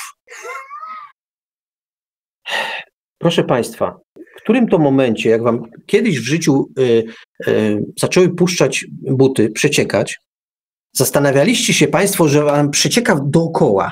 Mieliście po prostu mokro w butach i nie dookoła. Jakby ktoś z zewnątrz opisywał, to mógłby zobaczyć, że to się dzieje naokoło, jakby tam wchodził, tak, jeżeli to byłby ważny szczegół, bo nie widzę powodów, żeby był ważny. Ale y, Monroe poczuł wilgoć wokół podeszew skórzanych butów, ja Państwu gwarantuję, że sekundę potem y, poczuł, że w ogóle ma mokro w butach. No i to było zdecydowanie bardziej prawdziwe. No tam dokładnie tak, to nie mam nic do dodania, Marek. Dalej, ten kontynent niesie ze sobą wiele niesamowitości. Niby poprawnie, ale czy to nam coś e, daje? Czy to nam coś mm, daje? Poza tym, e, poza tym w tamtym, tak jak mówiliśmy, w tamtym miejscu i czasie ta banda ludzi siedząca gdzieś w, e, w tego na pewno nie, nie miała tak zwanych odjazdów geopolitycznych, że tak powiem, myśląc o kontynencie, o, o, o, o, o innych takich rzeczach. Raczej nie padłoby słowo kontynent, tak, raczej te ziemie, te ziemie. Ta ziemia jest taka, siaka i tak Ale dalej, to, to jest nie koniec pułapki, bo po tym zdaniu chociażby te czarne jabłka. Monroe wskazał palcem koszyk z owocami stojący na stole. A właśnie, częstuj się rzucił gubernator. Sam sobie zjem jedną. No, ale były jabłka, były owoce, ale jedną co? Śliwkę. No, śliwkę, chyba że tak. Yy, to jest dla mnie, i, to, proszę Państwa, ja wiem, że to się zdarza. No, tego rodzaju błędy się zdarzają, literówki. No ale gdyby był, był tekst przeczytany, to no, mniejsza szansa. Ale dobrze, już nawet to. Sam sobie zjem jedną. A dlaczego sobie? Po co jest to sobie? Zresztą, jak można sobie zjeść? No, no bo on to najpierw miał, a później sobie zjadł i już nie miał. No żartuję przecież, no nie patrz na mnie z a takim oburzeniem. Nie sobie? No nie, bo on mógł zjeść komuś bo to mogły być, mogły być jabłka kogoś. Ale nie, no to żartujemy, proszę Państwa, oczywiście. Nie ma powodu umieszczać słówka sobie.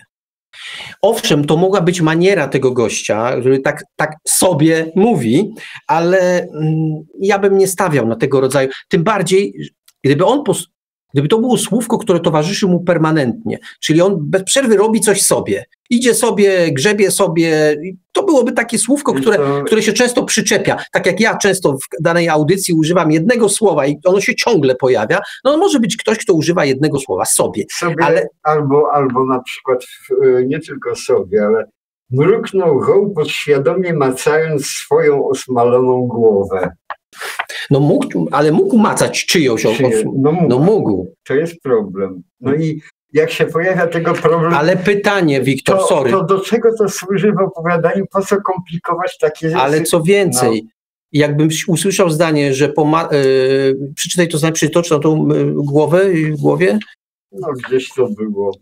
Y, Mruknął hołd podświadomie macając swoją osmaloną głowę. Mruknął Hawk macając y, osmaloną głowę, Każdy wie, że, że to jego głowa. Że, że to jego głowa. Bo jakby No. komuś macał głowę, to tamten by na pewno y, się jakoś zareagował. Ale dobrze, następne zdanie rzuciło mi się. W czasie pożaru jego zakolastą czuprynę liznął języczek ognia. Co to jest zakolasta czu- czupryna? Czupryna to jest raczej cholera dosyć obwite, a- jak się już zakola pojawiają, Ale ta resztę miał bardziej taką, dużo było. Miał kompleksy, że łysieje Mhm. i sobie robił czuprynę z tyłu. Chociaż słówko zakolaste nie jest moim ulubionym no, słówkiem. zresztą w ogóle e, to jest takie słowo, które kto używa? Nikt tego nie Dobrze. używa. Dalej. E, jabłko nie było dokładnie czarne. Wiecie Państwo o co chodzi? No wiecie, ja też wiem o co chodzi, ale wierzcie mi, że słówko dokładnie czarne, e, tym bardziej, że zdanie dalej, ale e, zobaczcie Państwo, jabłko nie było dokładnie czarne. Połyskliwa skórka była miejscami grafitowa, w większości szara, popielata, ciemnobrązowa. Dokładnie to samo, co było w tym jednym krótkim, zostało napisane. Przecież czy Państwo y, zdajecie sobie sprawę, że jabłko nie było dokładnie czarne? Jest to zdanie zupełnie niepotrzebne. Połyskliwa skórka była miejscami grafitowa, w większości szara, popielata, ciemnobrązowa. No, czyli na pewno nie było dokładnie czarne. Czyli znowu mnożymy słowa, mnożymy słowa nie wiadomo po co. Po co? No chyba że, chyba, że będziemy opisywać kobietę i ona nie miała tego, tego nie miała, tego nie miała, a co za, za to miała za bardzo wydatne. No może. Dalej. Dopadli ich tuż przed zmrokiem. Dwa tygodnie śledzenia podążania tropem. To znaczy znaleźli się w zasięgu wzroku. Czyli najpierw dopadli, a później znaleźli się w zasięgu wzroku. Ja, ja, proszę Państwa, ja powtarzam, ja wszystko wiem, o, o co autorowi chodziło. Tylko przedstawiam to dlatego, że to jest po prostu źle napisane. Jak Źle. ja kogoś dopadnę, To już... to on już jest w zasięgu nie mojego wzroku, ale mojej piąchy przynajmniej, nie? słówko, kluczowe słówko dopadli. Mhm. E, Gdyby oni ich e, namierzyli, nie wiem, to za bardzo współczesne to słówko, e, więc, nie, więc nie, nam- nie, namierzyli, skreślamy. Gdyby oni po prostu e, jakoś tam zbliżyli się, ale oni ich dopadli, no. Monroe i Mateo przy, przyczaili się w najbliższych zaroślach. Najbliższych komu? Ale dobra. Tu się czepiam, tu już ewidentnie się czepiam, więc odpuśćmy. Omawiali plan ataku. Zgodzili się. Okej. E, Wiecie Państwo, dlaczego to przytaczam? Bo, Wyobraź bo później się okazało. Nie, Wiktor, ale oni się okazało. Tak. a potem się zgadzają przez głosowanie. Nie, ale najgorsze to- jest to, że y, y, w kontekście tego, co Mhm. przeczytaliśmy później, oni nie mieli żadnego planu ataku. No tak. Żadnego planu, bo to, co zaprezentowali później, to była no po prostu rozpacz. Y, I co oni, co, do czego oni doszli? Mianowicie zgodzili się, Zgodzili się na plan. że najlepiej będzie zaatakować, gdy pójdą spać. Ale gdy kto Bądź pójdzie spać? No, no dokładnie, dokładnie. Gdy pójdą spać, y, mam nadzieję, że nie ci, co mieli zaatakować, bądź kiedy ich czujność osłabnie. To musieli, wiesz, siedzieć W w, tych krzakach, te, czekać, opis, opis, tych na, opis tych narad tak wygląda e, z tej, tej narady. Zgodzili się. Atakujemy? No, dobra. No, jasne. I, I mieli nadzieję, y, że, że za chwilę sp- opadnie im czujność i wtedy będą mogli No zaatakować. ja pomyślałem o, o Nie, no ale- że na pewno pochleją. No, wiesz? nie, no, ale wiesz, O, ale nie chleją, No, bo Indianie nie chlali tam. Wiktorze, no czemu ja to sprowadzam do absurdu? Po to, żeby zrobić, y, zrobić e, przykrość autorowi? Nie. Ja po prostu staram się pokazać, jak ważne jest każde słowo i ze, ź- po prostu, że, że źle dobranych słów wynikają po prostu rzeczy, których autor po prostu nie zaplanował, które, które są po prostu, bywają chwilami śmieszne. Dalej, mimo to podczołgali się do kilku krzaków, znajdujących się kilkadziesiąt kroków od tubylców. Te kilka, oni nic nie robili, tylko liczyli te krzaki, żeby ich tu było, e, by, by, było kilka krzaków, a tam kilkadziesiąt kroków. Naprawdę. Kilkadziesiąt kroków e, w ciemności, za przeproszeniem, to się czołgać nie ma co. To trzeba właściwie tam przemknąć się jakoś dobiec. Dalej, no. dalej, Wiktorze. Minęło trochę czasu, mężczyźni nie wiedzieli ile. No okej. Okay. Ale po co to jest Ale poczekaj, poczekaj, bo no. a zaraz ci powiem. Wnioskując z faz księżyca, może dwie lub trzy godziny. Ja bardzo proszę, Fazy księżyca tak, się zmieniają. Nie, no, jak... no właśnie miałem niepokój no taki tak. w sobie gołębi, y, że oni tam kilka tygodni, no czy, tak. że przynajmniej dwa tygodnie tam siedzieli. No tak. I się te fazy zmieniały. I, no Ale nie. to nie są godziny, tylko miesiące. No nie, no tygodni, tygodni, tygodnie, dni. No, więc nie ma, nie było żadnych faz y, w tym czasie i nie mogli na podstawie faz wnioskować i że upłynęły dwie, trzy godziny. No niemożliwe, po prostu niemożliwe. Mm, dalej. Monroe ścisnął mocniej rękojeść pistoletu z zamkiem kołowym. I tu jest duży punkt. Ten zamek kołowy to był wynalazek z tamtych czasów, mało praktyczny, a zresztą jak się czyta o tym, to podkreślone, co mówiliśmy wcześniej, że to była broń mało celna, często zawodziła i rzucanie się z nią na przeważającą liczbę e, ludzi, no to odwaga, duża odwaga. E, dalej. Z kolei, e, z kolei Indianin miał ten napięty łuk i trzymał. E, e, Manteo rozłożył strzałę, nałożył strzałę na cięciwę, którą trzymał wcześniej na Majdanie. Proszę Państwa, jak ktoś zna budowę łuku, to wie, co to jest Majdan. Natomiast przyjmijmy, że żyjemy w cywilizacji, która z łukiem ma niewiele wspólnego.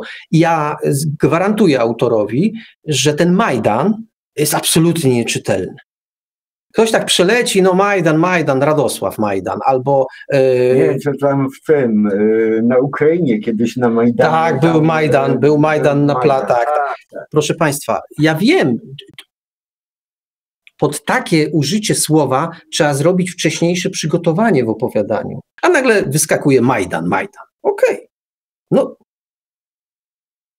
to samo zrobili jego kompanii. Zaśpiewali krótką sobie znaną pieśń. No trudno, żeby zaśpiewali nieznaną sobie pieśń, proszę Państwa. No, po co to słowo? Sobie no. znaną pieśń. Jakby zaśpiewali krótką pieśń, to pominąwszy, dlaczego oni ją śpiewają i w jakich okolicznościach, to by było w miarę. Krzyczał w swoim, jak również w ich języku, aby odłożyli bronię. Moim zdaniem to jest słabe zdanie bo krzyczał w swoim, jak również w ich języku, aby odłożyli bronię. Czy jest niepoprawne? Nie, jest poprawne, językowo jest poprawne, ale jest nieudolne to zdanie, po prostu w tym, w tym kontekście. A poza tym ja, ja w ogóle nie, nie pojmuję po cholerę, oni się tam podczołgują, skoro i tak się chcą dogadać i się na końcu dogadują. Jeśli oni chcieli yy, ich wystrzelać. Wy, wystrzelać, to należało to wystrzelać, a jeżeli chcieli ich, yy, że tak powiem, że namówić do poddania, A, to mogli się spokojnie podejść, ale, zawołać z daleka i poddać. Ale ty nie, nie, nie doceniasz perfidii tych no. skradających się, bo on do nich mówi, chcę wiedzieć, dlaczego podpaliliście osadę, zanim z wami skończymy. Czyli tak nie do przynajmniej ich chciał nastraszyć, że, ich, że z nimi skończymy. Tam jest, wśród tamtych Indian jest przynajmniej jeden, który bardzo sprawnie krzemiennym nożem za, załatwia antylopę, patroszy ją w ogóle i tak dalej. Tak. Widać, że to są ludzie bywali, że tak powiem. Bywali, bywali na prerii, czy w ogóle w, w dzikim dzikim tym świecie, oni są u siebie w domu i nie takie jadki potrafią robić jak z tą jedną antylopą. Mówiąc o I... tym, że nóż krzemienny tak. jest na ogół e, mniej ostry niż ten stalowy i żeby się nim posługiwać, no to trzeba... No nie, dobrze, ale inaczej, on jest bardziej... Ma swoje wady. I że, inaczej, ja chciałem prowadzić, od, prowadzić do tego, bo ostrzejszy może być nawet, ale chodzi o to, że e, żeby się nim posługiwać, trzeba jednak większej e, maestrii niż Tak. używając noża ze stali czy w ogóle z jakiegoś metalu. No zdecydowanie, to te, tego mi nie powiesz, że nie. Nóż z krzemienia no jednak stawia wyższe wymagania takiemu użytkownikowi. I ostatnia uwaga, którą autor y, nie do końca chyba przemyślał jedną rzecz, bo przez cały czas y, w, y, w tej opowieści mamy, ona się nawet nazywa, nosi tytuł Kroatoan i przez całe to plemię się tak nazywa i tak dalej, ale napis na końcu, na końcu ostatni wyraz tego jest przez C pisany. No bo taki był w naturze. No był w naturze, to czemu, czemu autor nie używał od początku, że to był e, Croatoan i, i to plemię się też Croatoan nazywało? No nie można było? No tak Pewna konsekwencja, y, no dlaczego tu nagle jest, e, zmieniła im się pisownia? Dobra, proszę Państwa, nie o to chodziło. Chodziło o to, żeby pokazać, że to, co czytane, to, co Państwo słyszycie bardzo często, wydaje się lepsze niż jest w rzeczywistości. Bo e, głos Iweliosa oraz sam fakt tego, że słuchamy rodzaju audiobooka, powoduje, że więcej rzeczy przepuszczamy, więcej rzeczy uchodzi na sucho. My pokazaliśmy w tym dzisiejszym, e, w dzisiejszym seansie, e, że no, nie uchodzi na sucho. Nie uchodzi na sucho i nad swoim tekstem trzeba się zastanawiać.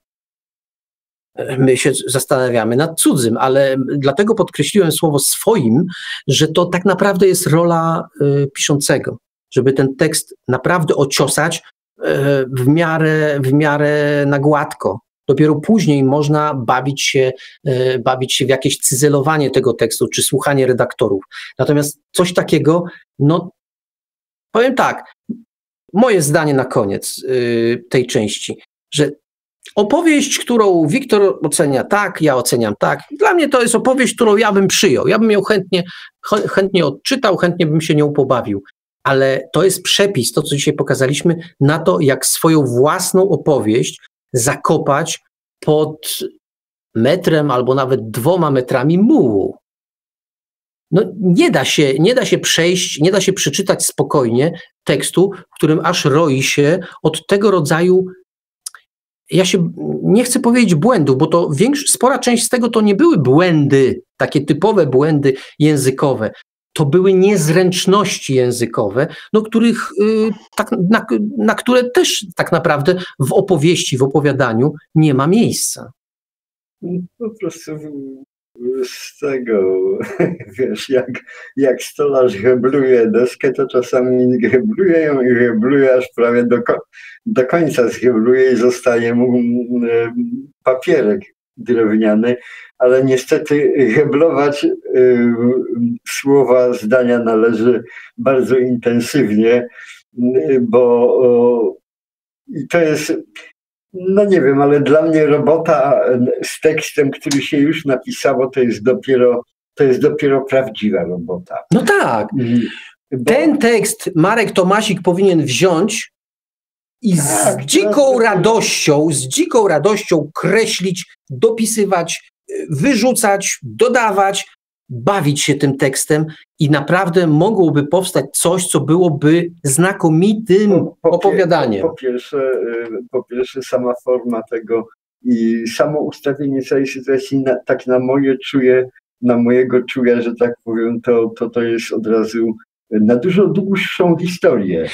E, taką na kilkadziesiąt stron, y, może nawet i na sto, długą historię, ale wtedy trzeba bardzo pięknie to tak po Sapkowskiemu sobie po prostu rozpisać. Rozbudować bohaterów, y, A dać im życie. skrypt dokładnie Tak. historii, która, która mogła się wydarzyć i która rze, rze, rzeczywiście była. Gdyby była rozpisana na chór, to by pięknie brzmiała, ale solowo to by szło tak jak.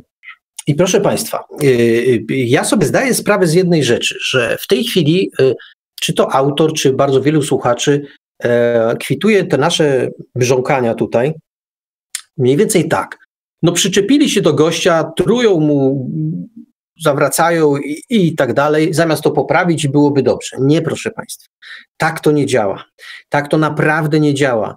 Jeśli chcecie y, pisać i robić jakieś postępy, to musicie zwracać uwagę na to wszystko i na więcej jeszcze, na co my dzisiaj zwracaliśmy uwagę. Inaczej się nie da. Nie da się robić tego dobrze, jeśli się to robi w taki sposób, czyli taki nonszalancki bardzo.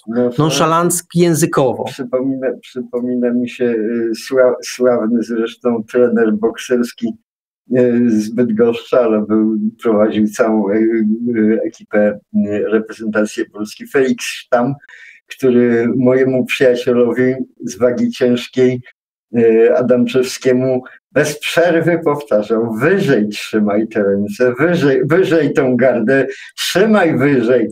Kazał mu, zakładał mu pięciokilowe rękawice, żeby ten już odruchowo trzymał wyżej. A a ten niestety zawsze opuszczał, bo był silny i był, był chojrak. No i mm, spotkaliśmy się na starość, że tak powiem, z, z Adamczewskim, no i cóż, mu poklepał i prawie. Wiesz, Wiktor, przeżyłem chyba 64 nokauty. Brawo, brawo. No bo się tego nie nauczył, że, a a trener co miał zrobić? Trener mógł, mógł, tak jak my, mówić wyżej tą gardę, wyżej do usranej śmierci, wyżej, bo inaczej polegniesz. Nie? No i on poległ wiele razy. Nie? Proszę Państwa, e, tak jak to pokazaliśmy, mm, no, opowiadanie można, na opowiadanie można patrzeć różnie.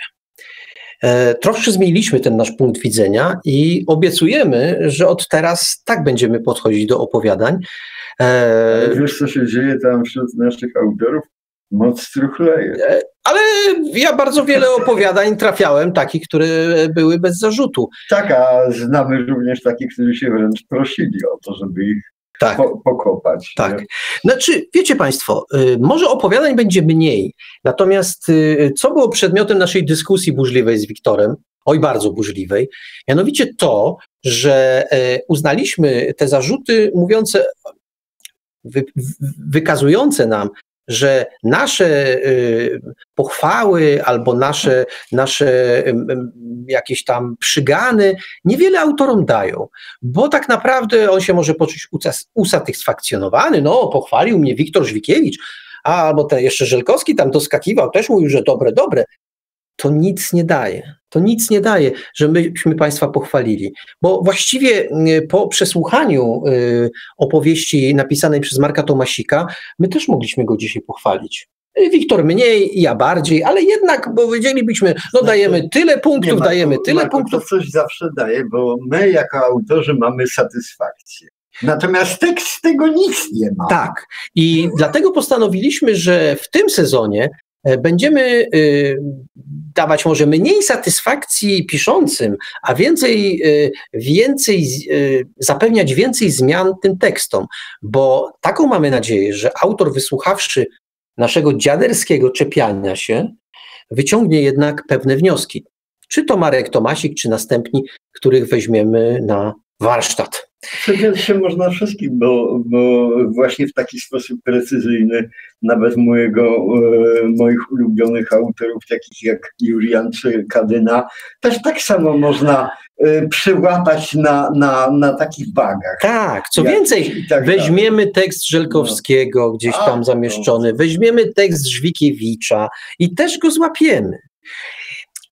Problem polega jednak, proszę Państwa, na tym, że tych łapek z łapek będzie mniej, zdecydowanie mniej niż tutaj.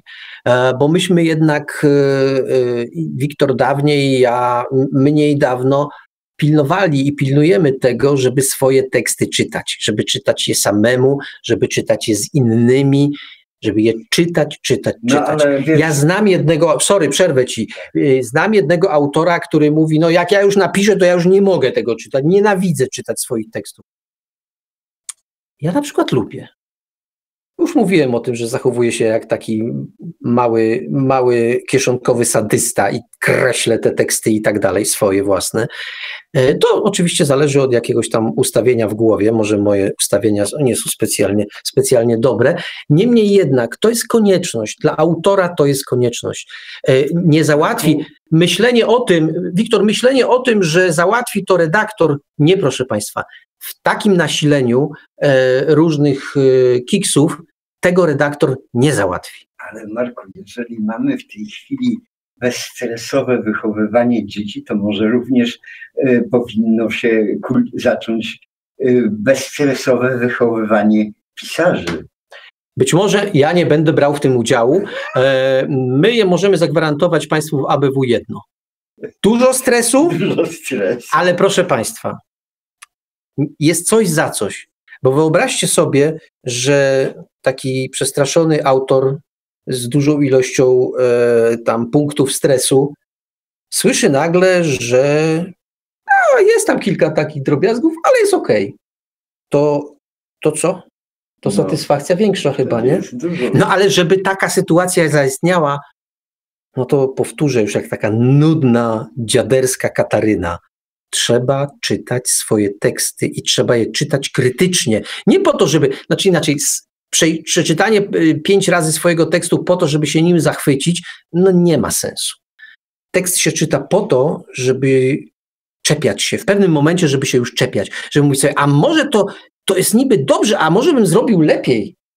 Też trzeba uważać, żeby nie przesadzić z tym lepiej, ale naprawdę tekst jest czymś płynnym, czymś, nad czym pracuje się do końca życia. Ja sam znam autorów, którzy y, po wielu lat, wiele lat od publikacji mówią, że jak dzisiaj by dorwali ten tekst, to by go kompletnie przerobili. No tak to już jest z tekstami. Chodzi o to, żebyśmy my przeszli na etap, w którym y, przerabiamy ten swój stary tekst, dlatego że myśmy się już jakby rozwinęli i chcielibyśmy to ująć inaczej, a nie dlatego, że są tam błędy. Czy to logiczne, czy też takie nieporadnościowe, czy też językowe wreszcie. No cóż, proszę Państwa, no to tyle, tyle na dzisiaj, jeśli chodzi o część tą taką stricte związaną z utworami. No ale jest jeszcze część druga. Część druga związana y, z, no również z pisaniem i również y, z, ale, y, z czymś, co nazwaliśmy w Radiu alchemią tworzenia. Bo nie wiem, czy wszyscy Państwo wiecie, ale w Book Radio, na bookradio.pl od uh, gdzieś od wczesnej wiosny pojawiała się audycja Alchemia Tworzenia. Do czerwca pojawiło się tych odcinków 19, 19 i tam autorka Katarzyna Prychacz, którą znacie Państwo ze spotkania ono się chyba w lutym, w lutym odbyło, e, która opowiadała Państwu o, e, o antologii, od antologii Nie otwieraj na stronie Sigma, ale jest też trenerką, trenerką wymyślania. I ona przez e, w pierwszym sezonie mówiła o różnych bardzo ważnych zjawiskach. Jak ja sobie przypomnę, przypomnę te teksty z tej antologii Nie otwieraj na stronie Sigma, no to aż mi tak, taka gula podskakuje po tym, co dzisiaj żeśmy wysłuchali, bo tam jednak były szlachetne bardzo teksty, nie wszystkie, ale właściwie wszystkie, wszystkie. No dobrze, ale w tym pierwszym sezonie y, y, Katarzyna Prychacz przedstawiła szereg takich bardzo ważnych zagadnień, typu na przykład wizje i cele, hejty i oceny, czyli jak się zachowywać, jak przychodzą dwa dziadersy i krytykują ci tekst, no to jak się zachowywać. Dalej, przekazy i morały. E, kolejny tytuł, perfekcyjni i doskonali, błędy i przypadki, kopiowanie i cudze buty, eksperci i omnibusy, ożywianie i projektowanie, uważność i inspiracja, używki i jedzenie, fantazje, właśnie, nawet to, co jemy, wpływa na naszą twórczość. E, fantazję i wyobra e, wyobraźnię, zmiany i przemiany, dary i atuty, kwestionowanie i pokora, myśli, kompetencje, prawdziwi i autentyczni, aparaty i natchnienia, odpady i kostnice, absurdy i dośmieszanie treści. Ja to oczywiście to odczytałem, natomiast już z tego, z tych tematów widzicie Państwo, że tekst, te, te opowieści Katarzyny Prychacz są ważne. Każda z tych audycji trwa minimum 30 minut. Warto tego słuchać, jeśli traktujecie Państwo pisanie bardzo poważnie. Ale nasza autorka doszła do wniosku, że może było zbyt poważnie. Nawet w, w takim wstępie e, zamieszczonym w, na Facebooku powiedziała, że o ile przedtem w pierwszym sezonie przedstawiała rzeczy niezwykle mądre, dotycza, dotyczące e, pisania, mówiła rzeczy mądre, to w tym drugim sezonie będzie mówiła rzeczy hmm, no nie tyle głupie, co szalone po prostu. I drugi sezon zaczął się brawurowo, bo zaczął się od y, takiego oto tytułu, który cytuję, a historii tego jaja i tak byś nie zrozumiał. Co robi Katarzyna Prychacz w tym sezonie? Otóż pokazuje Państwu proces wymyślania treści, uruchamiania wyobraźni, żonglowania tym wszystkim. I żeby nie być gołosłownym, to my Państwu dzisiaj, tak na przykład tego, co będzie Państwu w kolejnych tygodniach e, serwowane, pierwszy odcinek e, Alchemii Tworzenia e, niniejszym Państwu zaprezentujemy. Halo, halo ludności! Serdecznie witam Was po wakacyjnej przerwie. Ja jestem Katarzyna Prychacz, a Wy słuchacie Alchemii Tworzenia.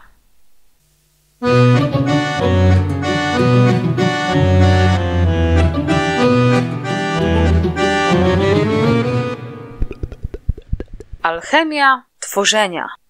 Marta, nie wiem, czy odpowiednio dużo razy dziękowałam Ci za ten zacny jingle, podziękuję i tutaj naprawdę good job, good job. Dobra, słuchajcie, dosyć prywaty. Możecie w domowym zaciszu zrobić jakieś małe klap klask dla Marty, bo naprawdę, no, no ja, ja lubię tą muzyczkę, wiecie. Czasami sobie włączę ten jingle tak po prostu. Wróciliśmy po wakacjach. Miałam trochę e, różnych przemyśleń i, i tam różnych innych e, mniejszych bądź większych zawirowań. I tak sobie wymyśliłam, że że zmienimy sobie troszeczkę formułę tego podcastu. Jako, że na razie no, nie dostaję od Was e, feedbacku, czy, czy jakichś tutaj właśnie propozycji, podpowiedzi, czy Waszych problemów. Wiecie, prawda jest taka, że ja lubię pracować na żywych organizmach i naprawdę dużo lepiej by mi było się właśnie odnieść do, do czegoś, co wiem, że faktycznie ktoś teraz tego potrzebuje i zastosuje, niż e, szukać właśnie, wiecie, tych ogólnych tematów, które oczywiście, że też są ważne i cudownie, cudownie, naprawdę cudownie, jakby każdy z Was sobie podziałał z tymi tematami, z tymi dziewiętnastoma tematami, które przerobiliśmy. Natomiast, no, no właśnie, 19 to bardzo dużo tematów, bardzo y, ciężkiego kalibru niekiedy do przerobienia, więc pomyślałam sobie, że ten sezon zrobimy troszeczkę bardziej, no dobra, zupełnie bardziej na luzie, a z racji, że oprócz tego, że, że wiecie, no jestem tam trenerem i pomagam tam układać ludziom sobie samym w głowach, ale też jestem trenerem wymyślania. No i nie byłabym sobą, gdyby nam tutaj jednak zabrakło kreatywności. No czuję takie wołanie ze środka. Także pomyślałam, że ten sezon właśnie poświęcimy inspiracji, kreatywności, wyobraźni, wymyślaniu i tak dalej, i tak dalej. O co chodzi? Chodzi o to, że każdy odcinek teraz, w tym sezonie, będzie swojego rodzaju taką inspiracją, może pomysłem na fabułę. Żebyście nie doznali zbyt wielkiego szoku termicznego, no to oczywiście, że i Salvador Dali tym razem będzie nam towarzyszył. Poniekąd po raz kolejny stał się inspiracją tutaj moją do wielkich rzeczy, bo tak sobie myślałam, co tutaj zrobić, jak tutaj udziwnić, jak sobie tak dorzucić, wiecie, e, takiego fanu jeszcze więcej w tym podcaście. No i zaczęłam sobie przeglądać moją magiczną książeczkę, jak zawsze, wiecie, w poszukiwaniu cytatu, wiadomo, tak jak było wcześniej. Cytat, który gdzieś tam mnie inspirował i y, sprawiał, że bardzo fajnie można było to połączyć z ważnymi tematami. I otworzyłam tą moją książeczkę na stronach, gdzie mam listę tytułów dzieł Dalego. Pewnie nie każdy z Was wie, ale słynął on z tego, że te tytuły były, no, nadzwyczajne, że tak powiem, albo niezwyczajne. Zdecydowanie nietuzinkowe. I pomyślałam, że w każdym odcinku w tym sezonie wezmę sobie jeden z tytułów jego dzieła i spróbuję wymyślić do niego fabułę. Zaraz przejdę do rzeczy, to będziecie wiedzieli o co chodzi, bo to może na razie brzmieć tak trochę no, niestandardowo, nie wiem, nielogicznie. Nie, nie, nielogicznie. E, ale jak usłyszycie tytuł, no to myślę, że też będą wam się już jawiły jakieś fajne rzeczy w głowie. I oczywiście też, żeby nie było w tym chaosu, czy y, zbyt mojej takiej, wiecie, surowej improwizacji, w sensie surowej, ja lubię popłynąć, a jednak nie tędy droga, żebyśmy tutaj bardzo długo sobie pływali. Więc oczywiście, że stworzyłam sobie schemat do takich, do tworzenia jakby takich podwalin fabuły. Zachęcam też, jeżeli macie ochotę, korzystajcie sobie przy swoich fabułach z tego schematu. To nie jest do końca coś takiego jak plan wydarzeń, tylko bardziej jak takie stworzenie znaczy, ja, ja sobie na przykład z tego schematu tworzę mapy myślowe do moich opowiadań. Takich, to są takie najważniejsze rzeczy, taka baza wiedzy podstawowej na temat właśnie czy to troszeczkę uniwersum, czy to właśnie tego, co tam ma się dziać, ale przede wszystkim właśnie tej problematyki i fabuły. Dobra, nie ględzę, słuchajcie, lecimy z tematem. Oto tytuł. Aptekarz unoszący nadzwyczaj ostrożnie skórę fortepianu. Padumc. Okej, okay, właśnie wiecie, za to Dali ma moje pełne uznanie, moje serduszko i dobra, no przecież jest moim autorytetem, jakby nie patrzył. To jest po prostu człowiek, który nigdy się nie imał żadnych ograniczeń. Jedyne, co go ograniczało, to jego własna wyobraźnia. A więc w sumie czemu nie? Mamy tytuł. Już sam tytuł opowiada niezłą historię, nie? Z pogranicza może jakieś groteski, goru, czy, czy właśnie absurdu. No i słuchajcie, zadanie sobie takie tu wymyśliłam, że teraz sobie będziemy rozkminiać, co tu mogła być za historia, jaka historia może kryć się pod tym zdaniem. Co mogło się wydarzyć, do czego to mogło doprowadzić, czy w ogóle kim był y, ów aptekarz czy bohater. Wspominałam o schemacie, więc pierwszy punkt, który mam w tym schemacie, to jest punkt, który dotyczy kwestii tego, jak jest. Chodzi tutaj właśnie o to, jak jest w tym tu i teraz, kiedy poznajemy naszego bohatera. I tak sobie patrzę, co tu może być. No skoro aptekarz podnosi nadzwyczaj ostrożnie tą skórę fortepianu, to pewnie ten fortepian musi być cenny. Nie wiem, jeszcze pomyślimy z tą skórą. Miałabym ochotę pójść dosłownie, ale zobaczymy. No to jak jest? To może w odpowiedzi na to pytanie, może jest jakaś bieda? Może spotkało aptekarza coś, co, co sprawiło, że musi zacząć tutaj po coś grzebać w swojej jakiejś cennej rzeczy, w, w swoim, nie wiem, a może fortepian jest tutaj tak naprawdę y, taką metaforą dla jego bogactwa, czy dla jego spadku, albo jakiejś kosztowności, czy skarbu, który posiada. Więc myślę sobie, jak tak, tak, tak widzę sobie tego aptekarza, w sumie to widzę taki taką mały domek, małe mieszkanko, taką chałupkę, wiecie, drewniane ściany, trochę tak nie, nie, obskurnie, ale po środku stoi takie, taki, taki wielki, y, bardzo ekskluzywny fortepian. No ja go sobie widzę jako taki, wiecie, no czarny, błyszczący, taka klasyka rodzaju, jak to z jakichś filmów, wiecie, z willi jakichś bogaczy. Z tą skórą właśnie jeszcze pomyślę. Mm, ale, ale właśnie to jest najcenniejsza rzecz, którą posiada ten aptekarz. No i teraz mam kolejne pytanie. Oczywiście możemy sobie zaraz wracać do, do nich z powrotem. Kolejnym pytaniem w schemaciku jest, jak było? Czyli jak było zanim poznaliśmy naszego aptekarza, tak? Zanim my jako odbiorcy weszliśmy sobie tutaj e, do, do jego chatki i zobaczyliśmy to pianino, przepraszam, fortepian, nie umniejszajmy skarbą, to jest fortepian. Mm, jak było? To myślę, że było stabilnie. Jakoś mu się wiodło, było go stać na utrzymanie chałupki, na utrzymanie rodziny. Myślę, że ten nasz aptekarz mm, powinien mieć rodzinę, nie? Fajnie by było, jakby miał rodzinę. Albo żonę. O, niech ma żonę. Skoro tak, tak wiecie, nie, nie było tam zbyt bogato, to chociaż. Dobra, dajmy mu żonę i dziecko. Córkę. Małą córkę. Taką jeszcze, wiecie, małą, małą, jeszcze, jeszcze nie ma roku. I sobie wiedli swoje takie życie. Miło, ciepło w tej chałupce. Wystarczyło im to, co aptekarz zarabiał. Mogli żyć godnie. I aptekarz y, za dnia był aptekarzem, natomiast kiedy wracał do domu, to zamieniał się w wirtuoza i grał na tym swoim pięknym fortepianie. Zróbmy magiczny ten fortepian. Może to będzie jakiś, o, artefakt. Artefakt by nam się to jakiś fajny przydał. To może jakieś zaczarowane... Co ja z tym pianinem? Zaczarowany fortepian. No, aj, fajnie, fajnie. Fajnie, będzie trzeba przekminić, czy to jakaś, wiecie, wróżka go zaczarowała, czy może on jest magiczną istotą. Tak, i wtedy mamy skórę. Dobra, fortepian. jak to się w Harry Potterze nazywało, transmutacja czy coś? Zwierzątko zamienione w przedmiot. No, kurczę, robi się grubo. Dobra, podoba mi się to. Okej, okay, czyli tak jak już mówiłam, było miło, stabilnie. No i teraz pytanie trzecie.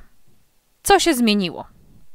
I tutaj właśnie mamy idealny moment na wprowadzenie właśnie tego zachwiania tej sielanki i, i, tego właściwie trochę takiego wezwania do wyprawy, tak? Jeżeli popatrzylibyśmy na schemat podróży bohatera. Czyli tak, coś musiało się zepsuć. Z jakiegoś powodu on y, grzebie w swoim skarbie, jakkolwiek by to nie brzmiało. Może. No nie, stracenie pracy to, to nie, to jest za proste. Może jakiś klient. Może coś poszło nie tak. Oczekajcie. To, a może zrobimy takiego, wiecie, trochę bardziej y, alchemika aptekarza. W sumie mamy alchemię tworzenia, to może zrobimy takiego trochę średniowiecznego aptekarza. Co prawda myślałam, żeby tu jakiś mafiozo u niego coś zlecił. No to może średniowieczne mafiozo. Ej, właśnie, w średniowieczu, jaki jest odpowiednik tych mafiozów takich, wiecie? Nie, to, jaki, jakiś yy, niecny szlachcic? Albo zróbmy może magów? Dobra, no mamy już alchemika. O, już wiem, to może być jakiś nekromanta, który przyszedł do alchemika. Kamień filozoficzny to za proste. Przyszedł po coś, po jakąś substancję. Musiałabym zrobić research, wiecie, żeby znaleźć coś fajnego, jakieś, jakieś coś. No ale to może, dobra, potrzebuję jakąś miksturę, która co może robić? Dobra, nekromanta robi rytuały, nie? Tam, wiecie, podnosi zmarłych z bycia zmarłymi. Dobra, to jest do przemyślenia, bo to nie chodzi o to, żeby teraz tutaj przy tym stać. Na razie mam w głowie jakąś fiolkę, jakiś eliksir i może aptekarz nie podołał. I teraz tak, albo faktycznie nie dał rady zrobić tego eliksiru, albo może właśnie zrobił eliksir, może to jest aptekarz, wiecie, z dziada na pradziada, aptekarz alchemik. On jest zawsze skuteczny i zawsze jego mikstury się sprawdzają. Natomiast może ten nekromanta chciał go oszukać i twierdzi, że to nie zadziałało. Albo źle użył tej mikstury. O. No dobra, to mam, mamy coś takiego, czyli co się zmieniło? No to może zmieniło się teraz to, że o, nekromanta żąda zwrotu pieniędzy, natomiast to była bardzo rzadka mikstura, w sensie, wiecie, nie, nie, nie tyle konsystencja, co po prostu miała rzadkie składniki, rzadko spotykane. Więc y, aptekarz większość tych pieniędzy musiał tak naprawdę wydać na te składniki. A za resztę, co, opłacił czynsz? Nie, to była jego chata. No dobra, ale jakaś tam danina czy coś było, jakieś podatki, ale to jest za proste. Co, co może być? Co mogło być? Co mogło być? A może on w coś inwestuje? No bo wiecie, tam choroba dziecka czy takie rzeczy, to, to, to, to za proste. Poza tym on jest aptekarzem. Żona. Coś może z żoną. Na co pieniądze mogły iść?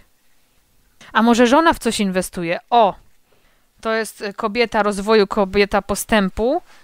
Więc po opłaceniu danin aptekarz resztę pieniędzy, aptekarz wraz z żoną ulokowali w jej czymś. Teraz tylko co ona mogła robić? A może ona się uczyła, może ona chciała na studia. O, o, i jest, i mamy to. Czyli zapłacili pierwszą ratę za studia jego żony. Ciekawe, a, a co by mogła studiować? Nie wiem, nie wiem, jeżeli były uczelnie, nie no, już były na pewno w średniowieczu, tylko teraz jakie? No dobra, to też jest do przemyślenia. Może ktoś z Was by miał jakieś pomysły. Oczywiście mamy grupę Alchemia Tworzenia na, na Facebooku, więc y, myślę, że do tego też sezonu będziemy robić dedykowane posty. I tam stworzę miejsce, więc albo stworzymy wspólnie jakąś historię, albo jeżeli będziecie mieli ochotę stworzyć coś swojego, to, to zachęcam. Albo wysyłajcie tam taką krótką zajawkę tego, a jeżeli macie ochotę podzielić się na przykład gotowym opowiadaniem, czy, czy chcecie, żebym może zerknęła, czy udzieliła wam jakichś tam porad, yy, czy, czy, czy nie wiem, jakichś po prostu uwag, komentarzy, no to też yy, łapcie mnie gdzieś tam prywatnie i, i możemy działać dalej. Wracając do historii. Czyli aptekarz jest zdesperowany i potrzebuje skądś pieniędzy, ponieważ nekromanta grozi. I czym może grozić nekromanta? Bo on w sumie nie zabija. No, albo składa w ofierze.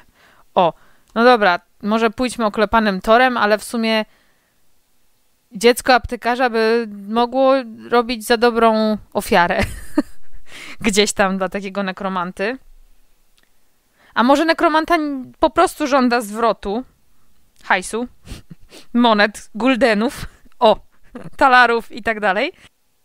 I on wcale nie groził rodzinie, natomiast aptekarz y, jest paranoikiem i dopowiedział sobie resztę historii, wiecie, w głowie, że o, teraz na pewno będzie polował na, na jego rodzinę, na jego dziecko i tak dalej, i tak dalej. A summa summarum może się okazać, że nekromanta wcale nie był złym człowiekiem. Dobra. Pytanie czwarte, bo tutaj sobie trochę widzicie, po, po, pogadałam sobie o tym, co się zmieniło. Natomiast pytanie czwarte to jest, jakie jest rozwiązanie? Więc y, chodzi tutaj właśnie o, tak, o to, na co wpadł nasz bohater, tak? Y, czyli jak zmierzy się z tą zmianą, z tym problemem, z tym, co się zadziało. Czyli przechodzimy właśnie trochę do tych dalszych etapów y, podróży. I co my tu mamy? Skoro tutaj mamy o, że ten aptekarz unoszący nadzwyczaj ostrożnie skórę fortepianu, no to myślę, że to, to tutaj może jest to rozwiązanie, na które wpadł aptekarz. Czyli jest przekonany, że musi jak najszybciej oddać te pieniądze, nie ma tych pieniędzy, nie jest w stanie ich zarobić na przykład tak szybko, żeby oddać całą kwotę. Nie mogą też wycofać już tej opłaty za studia i tak dalej, i tak dalej. No to poszedł do jedynej, najbardziej kosztownej rzeczy, którą ma, miał w domu, czyli tego magicznego fortepianu. I teraz jakaś historia tego artefaktu by się przydała. Ej, a może niech ten fortepian się, wiecie, wykluje z jajka. w sensie, że znalazł y, gdzieś kiedyś jajko. Albo, o, i pomieszamy tu trochę steampunku, ale mam wizję. Na łożu śmierci babka naszego aptekarza. Ona go wszystkiego nauczyła. Ona była, wiecie, taką alchemiczką prima sort normalnie w, w tej y, wiosze i ona w spadku pozostawiła naszemu aptekarzowi, alchemikowi złote jajo. Złote? No niech będzie złote. A, a co? A co? O, bo to mogło być jajo. No tak. Chcieli stworzyć kamień filozoficzny, czyli alchemicy zawsze tak dążyli do tego, żeby ołów przemienić w złoto i znaleźć lek na nieśmiertelność i tak dalej, i tak dalej. No to może babka nie zdążyła zdradzić historii tego jaja, ale to jajo było czymś cennym. I, I, wszyscy, no krążyła legenda, że to właśnie po raz pierwszy i jedyny w historii udało się komuś przemienić e, zwykłe e, ołowiane, e, nie wiem, bryłę. W czym jest o, ołów? Jest płynny? No, no mieliśmy sobie coś ołowianego, jakiś przedmiot. No bo jajo to będzie takie a niech będzie, dobra. No to mieli sobie ołowiane jajo i że niby udało im się zmienić to w złoto. I taka jest legenda tego jaja, które zostało.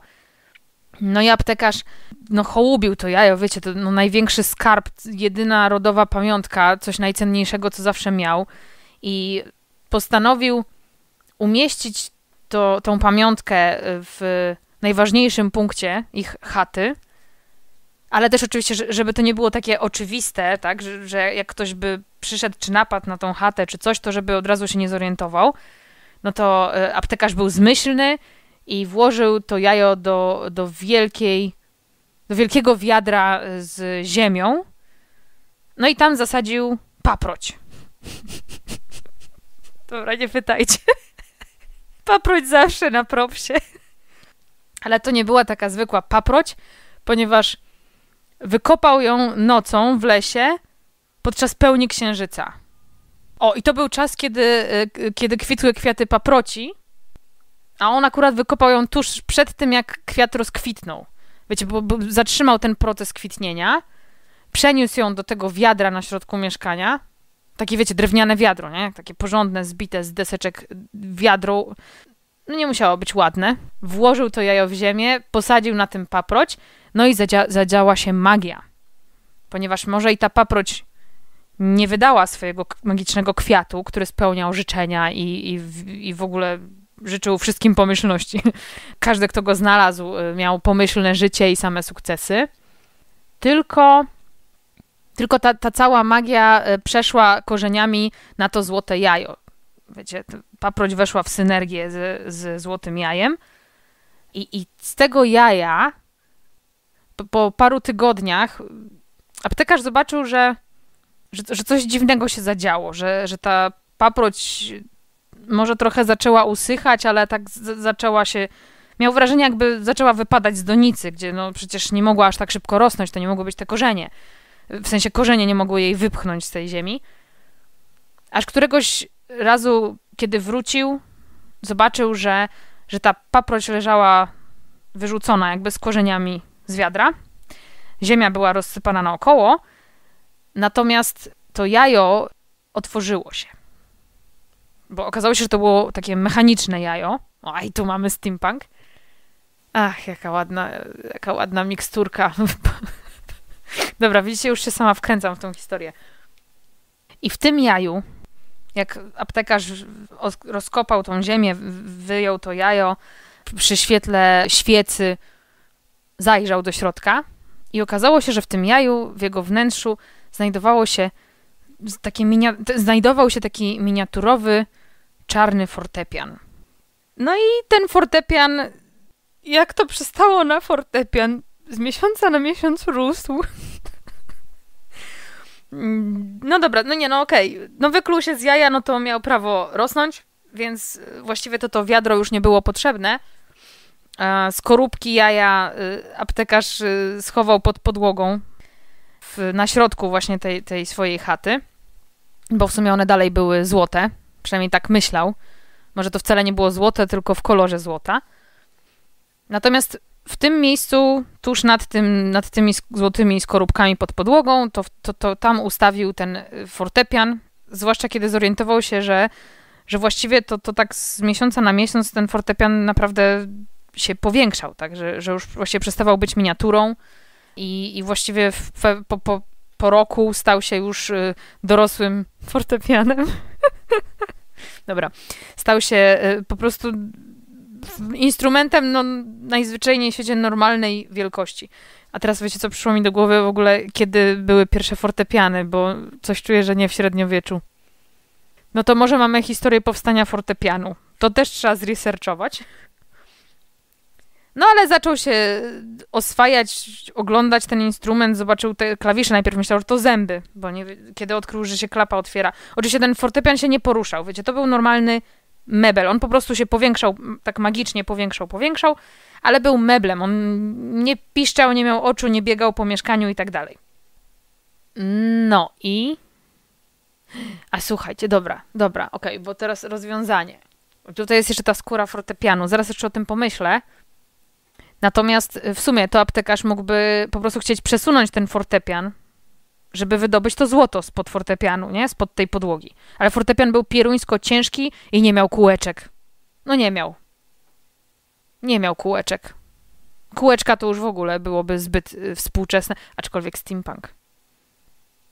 Nieważne. Ten nie miał kółeczek.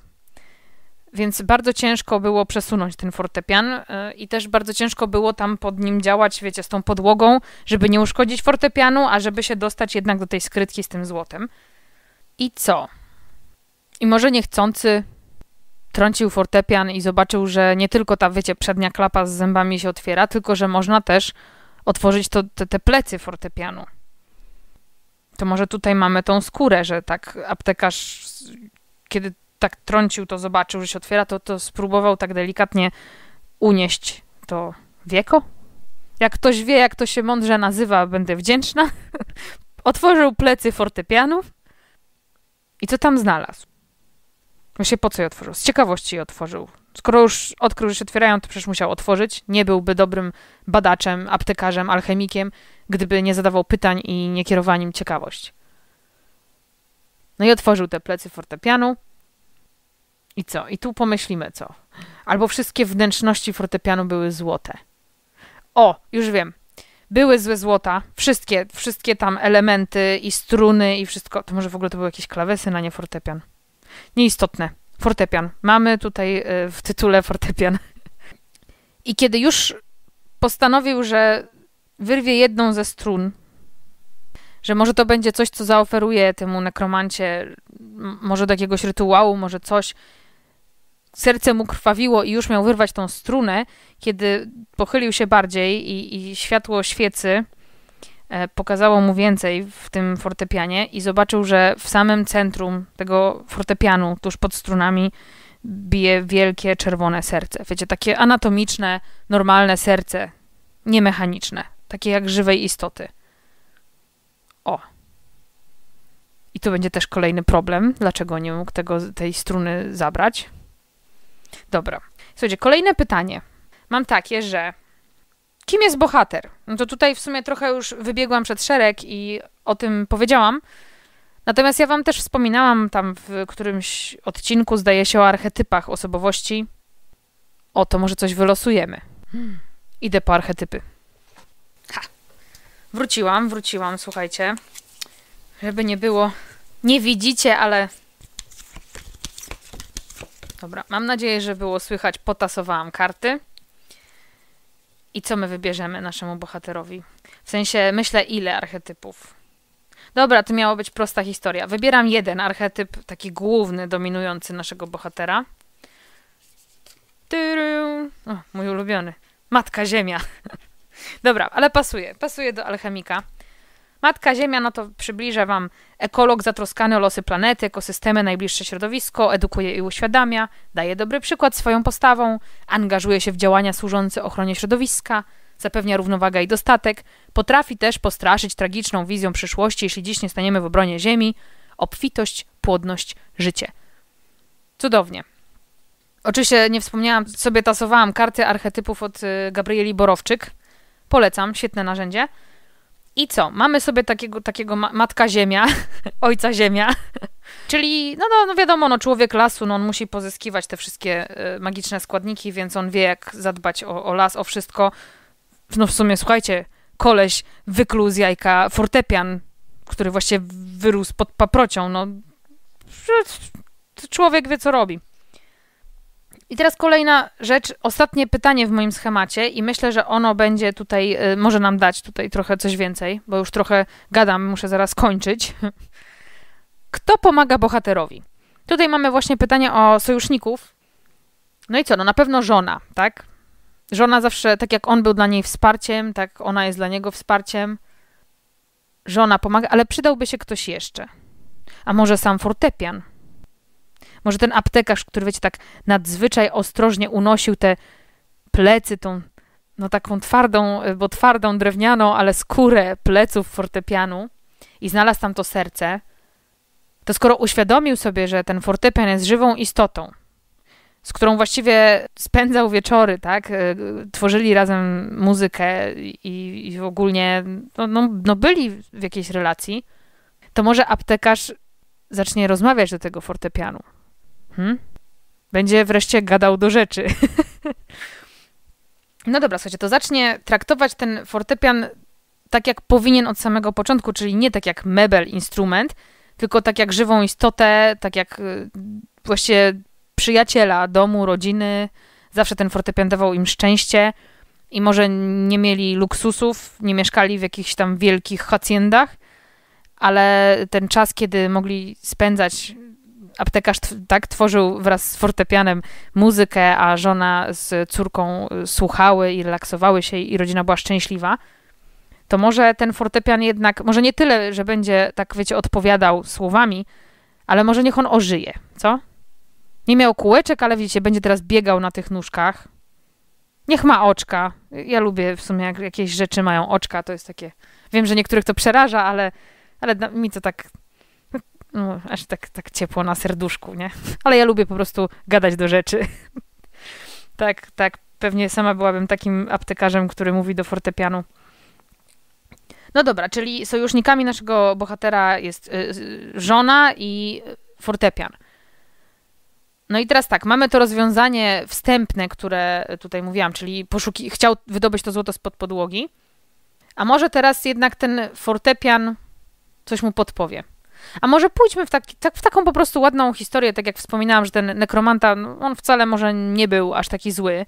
Natomiast, że, że nasz tutaj y, aptekarz y, tak czuł się zawsze w takim alercie, czuł się w zagrożeniu, czy, czy tak jak mówiłam, był trochę takim paranoikiem, to może ten fortepian go uspokoi.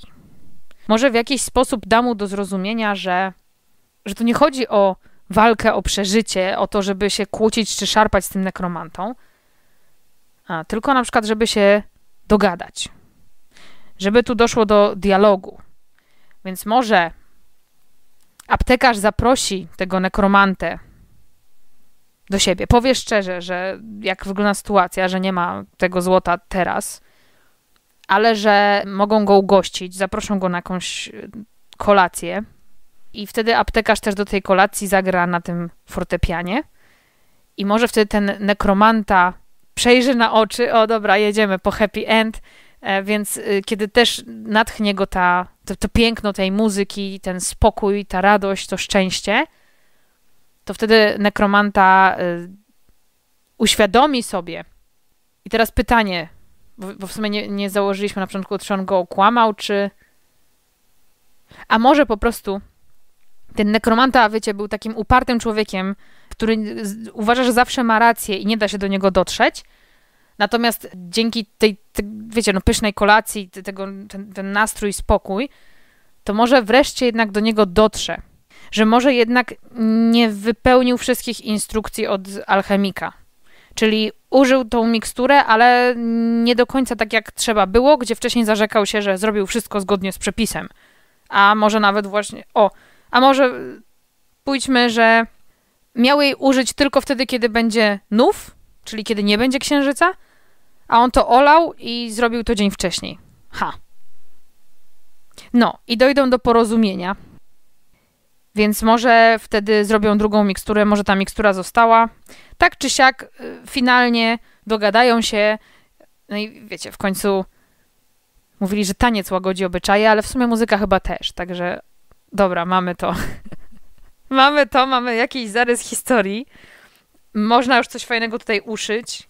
A, oczywiście dorzucić jakichś bajerów. Ja nie ględzę dalej, słuchajcie, bo już trochę czasu mamy. A to też nie tędy droga. Miała być improwizacja. Więc mamy historię. Jakiś tytuł do niej. Nie wiem, czy coś mi teraz przychodzi do głowy. Taki, wiecie, no, to, to, to od, od daleko wzięliśmy sobie, wiecie, e, właściwie rdzeń naszej historii, inspirację. Ale tytuł nie wiem. Pomyślmy. Dajcie znak. Zna, znaka dajcie, jak coś wam przyjdzie do głowy. Ja zwykle właśnie czasami. Znaczy powiem wam szczerze, że zwykle to chyba jednak ten tytuł tak najlepiej mi się go daje. Może nie tyle na koniec, po prostu czasami w trakcie. Czasami padnie mi jakaś jedna fajna fraza, która jest po prostu czymś takim wow, zarówno z przekazem, z przekazu, jak i z e, tych walorów marketingowych. Dobra, słuchajcie, ja kończę jak się, wiecie, przebije przez, przez mój ogień codzienności, to, to może i się pokuszę o spisanie tej historii. No nawet to takie, taka, wiecie, fajna, przyjemna bajeczka. No, trochę, właściwie, jeżeli uznamy to za rodzaj bajki magicznej, to taki, wiecie, taki typ bajek. To, to nie, że, że, że ja wymyślałam, tylko tak, tak się nazywało właśnie y, bajki, które miały te elementy właśnie różne, tam wiecie, klątwy, czarownice i te rzeczy. Jeżeli spojrzymy na tą historię jak na baśń, no to wszystko się zgadza. Nawet nie mamy tu, widzicie, samego w sobie absurdu, bo mamy coś zaklętego. Ja kończę na dziś. I wiecie co, tym razem nie będę wam dawać tych zadanek kreatywnych. Ja myślę, że jeżeli poczuliście inspirację, zarówno tym tytułem Dalego, a może po prostu którymś fragmentem tej historii, czymś, o czym mówiłam, czy jakimś kierunkiem, e, może którymś z tych pytań, no to bierzcie. Bierzcie, korzystajcie z tego, piszcie, róbcie, nie wiem, wkręćcie się w tę historię. I myślę, że to będzie naj, najlepszym ćwiczeniem kreatywności, yy, takim, wiecie, z tego sezonu. I co? Raz jeszcze zapraszam Was na grupę facebookową Alchemia Tworzenia. Jeżeli chcecie mnie namierzać w internetach, no to pamiętajcie, Katarzyna Prychacz. Wpiszcie na Google'a i znajdziecie na pewno gdzieś tam jakieś namiary na mnie i inne cudowności. Ja się z wami żegnam. Mam nadzieję, że spodobało wam się to, w sensie, że, że ta nowa formuła, no jak nie, to tym bardziej dawajcie znaka, będę myśleć nad inną. Aczkolwiek strasznie nie mogę się doczekać kolejnego odcinka i tego, jaki nam się wylosuje ten tytuł, jaka będzie historia. Zobaczymy, zobaczymy. Trzymajcie się cieplutko, bo to już idzie sezon jesienny, także dbajcie o zdrówko. I co, ja kończę i życzę wam mocy inspiracji.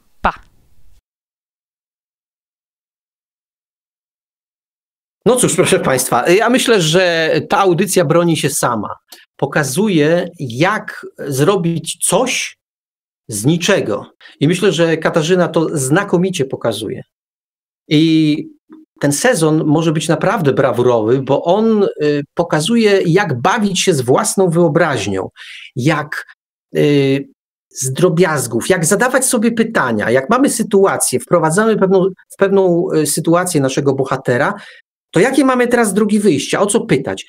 Nie Katarzyna nie pokazuje, że musimy podążać, bo tak sobie to wymyśliliśmy. Za, na, każdym, na każdym etapie naszej opowieści trzeba zadawać kolejne pytania, wariantywne, yy, tworzyć wariantywne treści i wybierać to, co wydaje się najbardziej prawdopodobne, w jednym przypadku najbardziej śmieszne, najbardziej e, intrygujące i tak dalej, i tak dalej. Ja myślę, że i tak lepiej tego, co powiedziała wam Katarzyna, e, nie powiem. Myślę, że e, Katarzyna zachęci w najlepszy sposób i ja tylko jestem takim pomocnikiem. I ten przykład, e, myślę, że on on Państwu dobrze pokaże, co, co przed nami, i ja sam się cieszę niby autor doświadczony, a słucham, słuchałem tej audycji z wypiekami na twarzy, bo y, lubię po prostu ludzi kreatywnych, lubię ludzi, którzy y, dzielą się swoją wiedzą i Katarzyna to właśnie robi. E, może to zachęci Państwa e, do tego, żeby sięgnąć po wcześniejsze odcinki. Wszystkie są dostępne w podcastach na stronie bookradio.pl. Te nowe będą się pojawiać e, w Book Radio na antenie e, nowe odcinki w każdą środę o godzinie 20, ale jak ktoś przegapi, ja sobie zdaję sprawę, że liniowe radio, liniowa telewizja to w tej chwili już powoli zaczyna przemijać, e, ale każda z tych audycji dosyć szybko pojawia się w podcastach, można jej sobie odsłuchiwać. No ja mam nadzieję, że, że nasi słuchacze doszli do wniosku, że warto. Warto jeszcze z jednej przyczyny, bo jak e, usłyszeli, usłyszeliście Państwo, Katarzyna proponuje kontynuowanie tej historii. E, czerpanie z niej, pisanie własnych historii, nadsyłanie do niej. E, jeśli nie chcecie Państwo wysyłać historii do nas, przynajmniej niektórzy już zrezygnowali, to może nadsyłajcie swoje historie do niej. Umówiliśmy się z Katarzyną, że jeśli takich opowiadań, opowiadanek, takich szkiców przyjdzie więcej, to od czasu do czasu zrobimy sobie audycję wspólną, wspólną, e, wspólną e, alchemię tworzenia połączoną z ABW. To ciekawe, ciekawy miks, bardzo ciekawy miks, no ale myślę, że to, to, to chyba fajna propozycja, bo Katarzyna nie wymaga od was e, takiego pełnoprawnego opowiadania, wymaga uruchomienia wyobraźni i przedstawienia wycinka tej wyobraźni. E, poszła, zaczęła od e, takich rzeczy szalonej, e, posiłkując się, posiłkując się cytatem z Salvadora Dali, no, zajechaliśmy bardzo, bardzo daleko. Myślę, że kolejne odcinki będą bardzo podobne. Mm, myślę, że na tyle przez ten czas zdołałem Katarzynę poznać, że ona Państwu zgotuje no właśnie, jaki los? No fajny, fajny los twórcy, człowieka, który y, przełamuje pewne ograniczenia, ograniczenia własnej wyobraźni, bo y, każdy z Państwa y, był kiedyś w takiej sytuacji, że nie wiedział, co dalej, no co dalej, co wymyślić, nie, pustka w głowie, nic. A Katarzyna pokazuje, że na tą pustkę jest sposób trzeba się w odpowiedni sposób zachować. I ona to robi. Przed państwem e, w ciągu pół godziny powstał no, nieco absurdalny utwór, ale jednak powstał. E, I różne rzeczy można mu zarzucić, ale nie to, że jest nielogiczny. Ona sama, poza tym, zachowywała się w sposób odpowiedzialny, zadawała sobie pytania. No, czy w tamtych czasach były na przykład tego rodzaju instrumenty jak fortepiany, e, czy na przykład to, czy na przykład tamto ona jakby pisząc pewien scenariusz, a właściwie układając pewną historię, od razu y, stawiała na warianty, od razu zadawała sobie pytania. Bardzo często te pytania mogą całą historię położyć, ale niech one padną przed napisaniem tej historii, a nie po jej napisaniu. No cóż, no, cóż, więcej będę, cóż więcej będę chwalił. No. Ja mogę tylko skomentować to jeszcze troszeczkę inaczej. Też pani Katarzyny, to warto słuchać. Przede wszystkim twórcy powinni słuchać po to, żeby tak naprawdę mieć taką pan, panią Katarzynę u siebie samego w głowie. Tak, tak, zdecydowanie. I dlatego jeszcze raz przypominam, alchemia tworzenia. W tej chwili 19 odcinków pierwszego sezonu, jeden odcinek drugiego sezonu, a w następną środę kolejny drugi odcinek i znowu, znowu szaleństwo związane z wymyślaniem. No cóż, Wiktorze, ja myślę, że dzisiejsza audycja była inna i taka miała być. E, myślę, że e, pokazała pewne nowe trendy, jak to się mówi, trendy, zarówno w naszym podejściu do tekstów, no jak i zaproponowała coś, co ja bym chciał, żeby z Państwem zostało. Bo ja sobie w pewnym momencie zdawałem, zdałem sprawę, że my Państwu opowiadamy, jak pewne rzeczy należy robić. Jak pisać dialogi, jak robić opisy, jak konstruować coś tam. Już bardzo teoretycznie to mówiliśmy Państwu, podając oczywiście przykłady. Ale mm, Katarzyna robi to z pewnego punktu widzenia, moim zdaniem, robi to lepiej, bo ona na żywo pokazuje, jak coś powstaje, a jednocześnie to jest inspirujące. Aż tak inspirujący, Wiktorze, nie byliśmy Wiesz, i z radością przekazuje pałeczkę po prostu. To znaczy, jedna rzecz jest od dawna wiadoma w praktyce człowiek uczy się najlepiej. Należy praktykować po prostu. Wymyślanie, fantazjowanie i tak dalej, a to teoria jest czasami pozostaje do końca życia abstrakcją, jeśli człowiek tego nie liźnie. Okej, okay. kończmy Wiktorze tę audycję, bo ona się staje e, już długa. Jeszcze raz zapraszamy Państwa y, na za dwa tygodnie. Dalej będziemy szli nową ścieżką i nowym kursem. Mam nadzieję, że to Państwa nie przeraża. Naprawdę to jest robione po to, żeby Państwu pomóc. Mam nadzieję, że przynajmniej pod, pod tym względem Państwa przekonałem. Nie gadaj, po prostu my tak naprawdę lubimy łomot. Tak, jasne, łomot. lubimy się znęcać zawsze byłem sadystą, tylko takim zamaskowanym. No, tak jest. No, o, po, po, to to robimy, jasne. E, Dobranoc. Dobranocka. No, pamiętajcie Państwo, że za tydzień, już za tydzień łączymy się z odległą częścią świata, no i podróżujemy w czasie. Podróżujemy w czasie i przestrzeni, bo kiedy my zaczniemy audycję w piątek, to osoba, z którą będziemy rozmawiać, u tej osoby będzie już sobota, bo ona jest naprawdę daleko, dlatego w czasie i przestrzeni. Więc za tydzień zapraszamy na spotkanie z Piotrem Plebaniakiem, autorem między innymi y, tłumaczenia sztuki wojny, tego traktatu, e, traktatu e, pochodzącego e, z starożytnych Chin, ale też innego traktatu o 36 fortelach, który do tej pory nie był przetłumaczony na język polski. Studiowano go w rosyjskich uczelniach, w innych podejrzanych miejscach, ale w Polsce go nie znano. Pan Piotr Plebaniak, który, który posługuje się językiem wiadomym, przyczynił się do tego, że wkrótce będziemy go mogli poznać. Na spotkanie z Piotrem Plebaniakiem zapraszamy na tę podróż w czasie i przestrzeni. To za tydzień, no a za dwa tygodnie oczywiście ABW w nowej formule. Dobrej nocy Państwu. Dobranoc. A mówili to słowa do Państwa jak zawsze gospodarze ABW, Marek Żelkowski i Wiktor Żwiekiewicz. Audycję jak zawsze od strony technicznej obsługiwał Marek Sękiewelios, Radio Paranormalium, Paranormalny Głos w Twoim domu. Dziękujemy za uwagę, dobranoc i do usłyszenia ponownie oczywiście w tym normalnym bibliotekarium już za tydzień, no i w ABW już za dwa tygodnie. Bibliotekarium.pl i Radio Paranormalium prezentują ABW Antologia Bibliotekarium Warsztaty.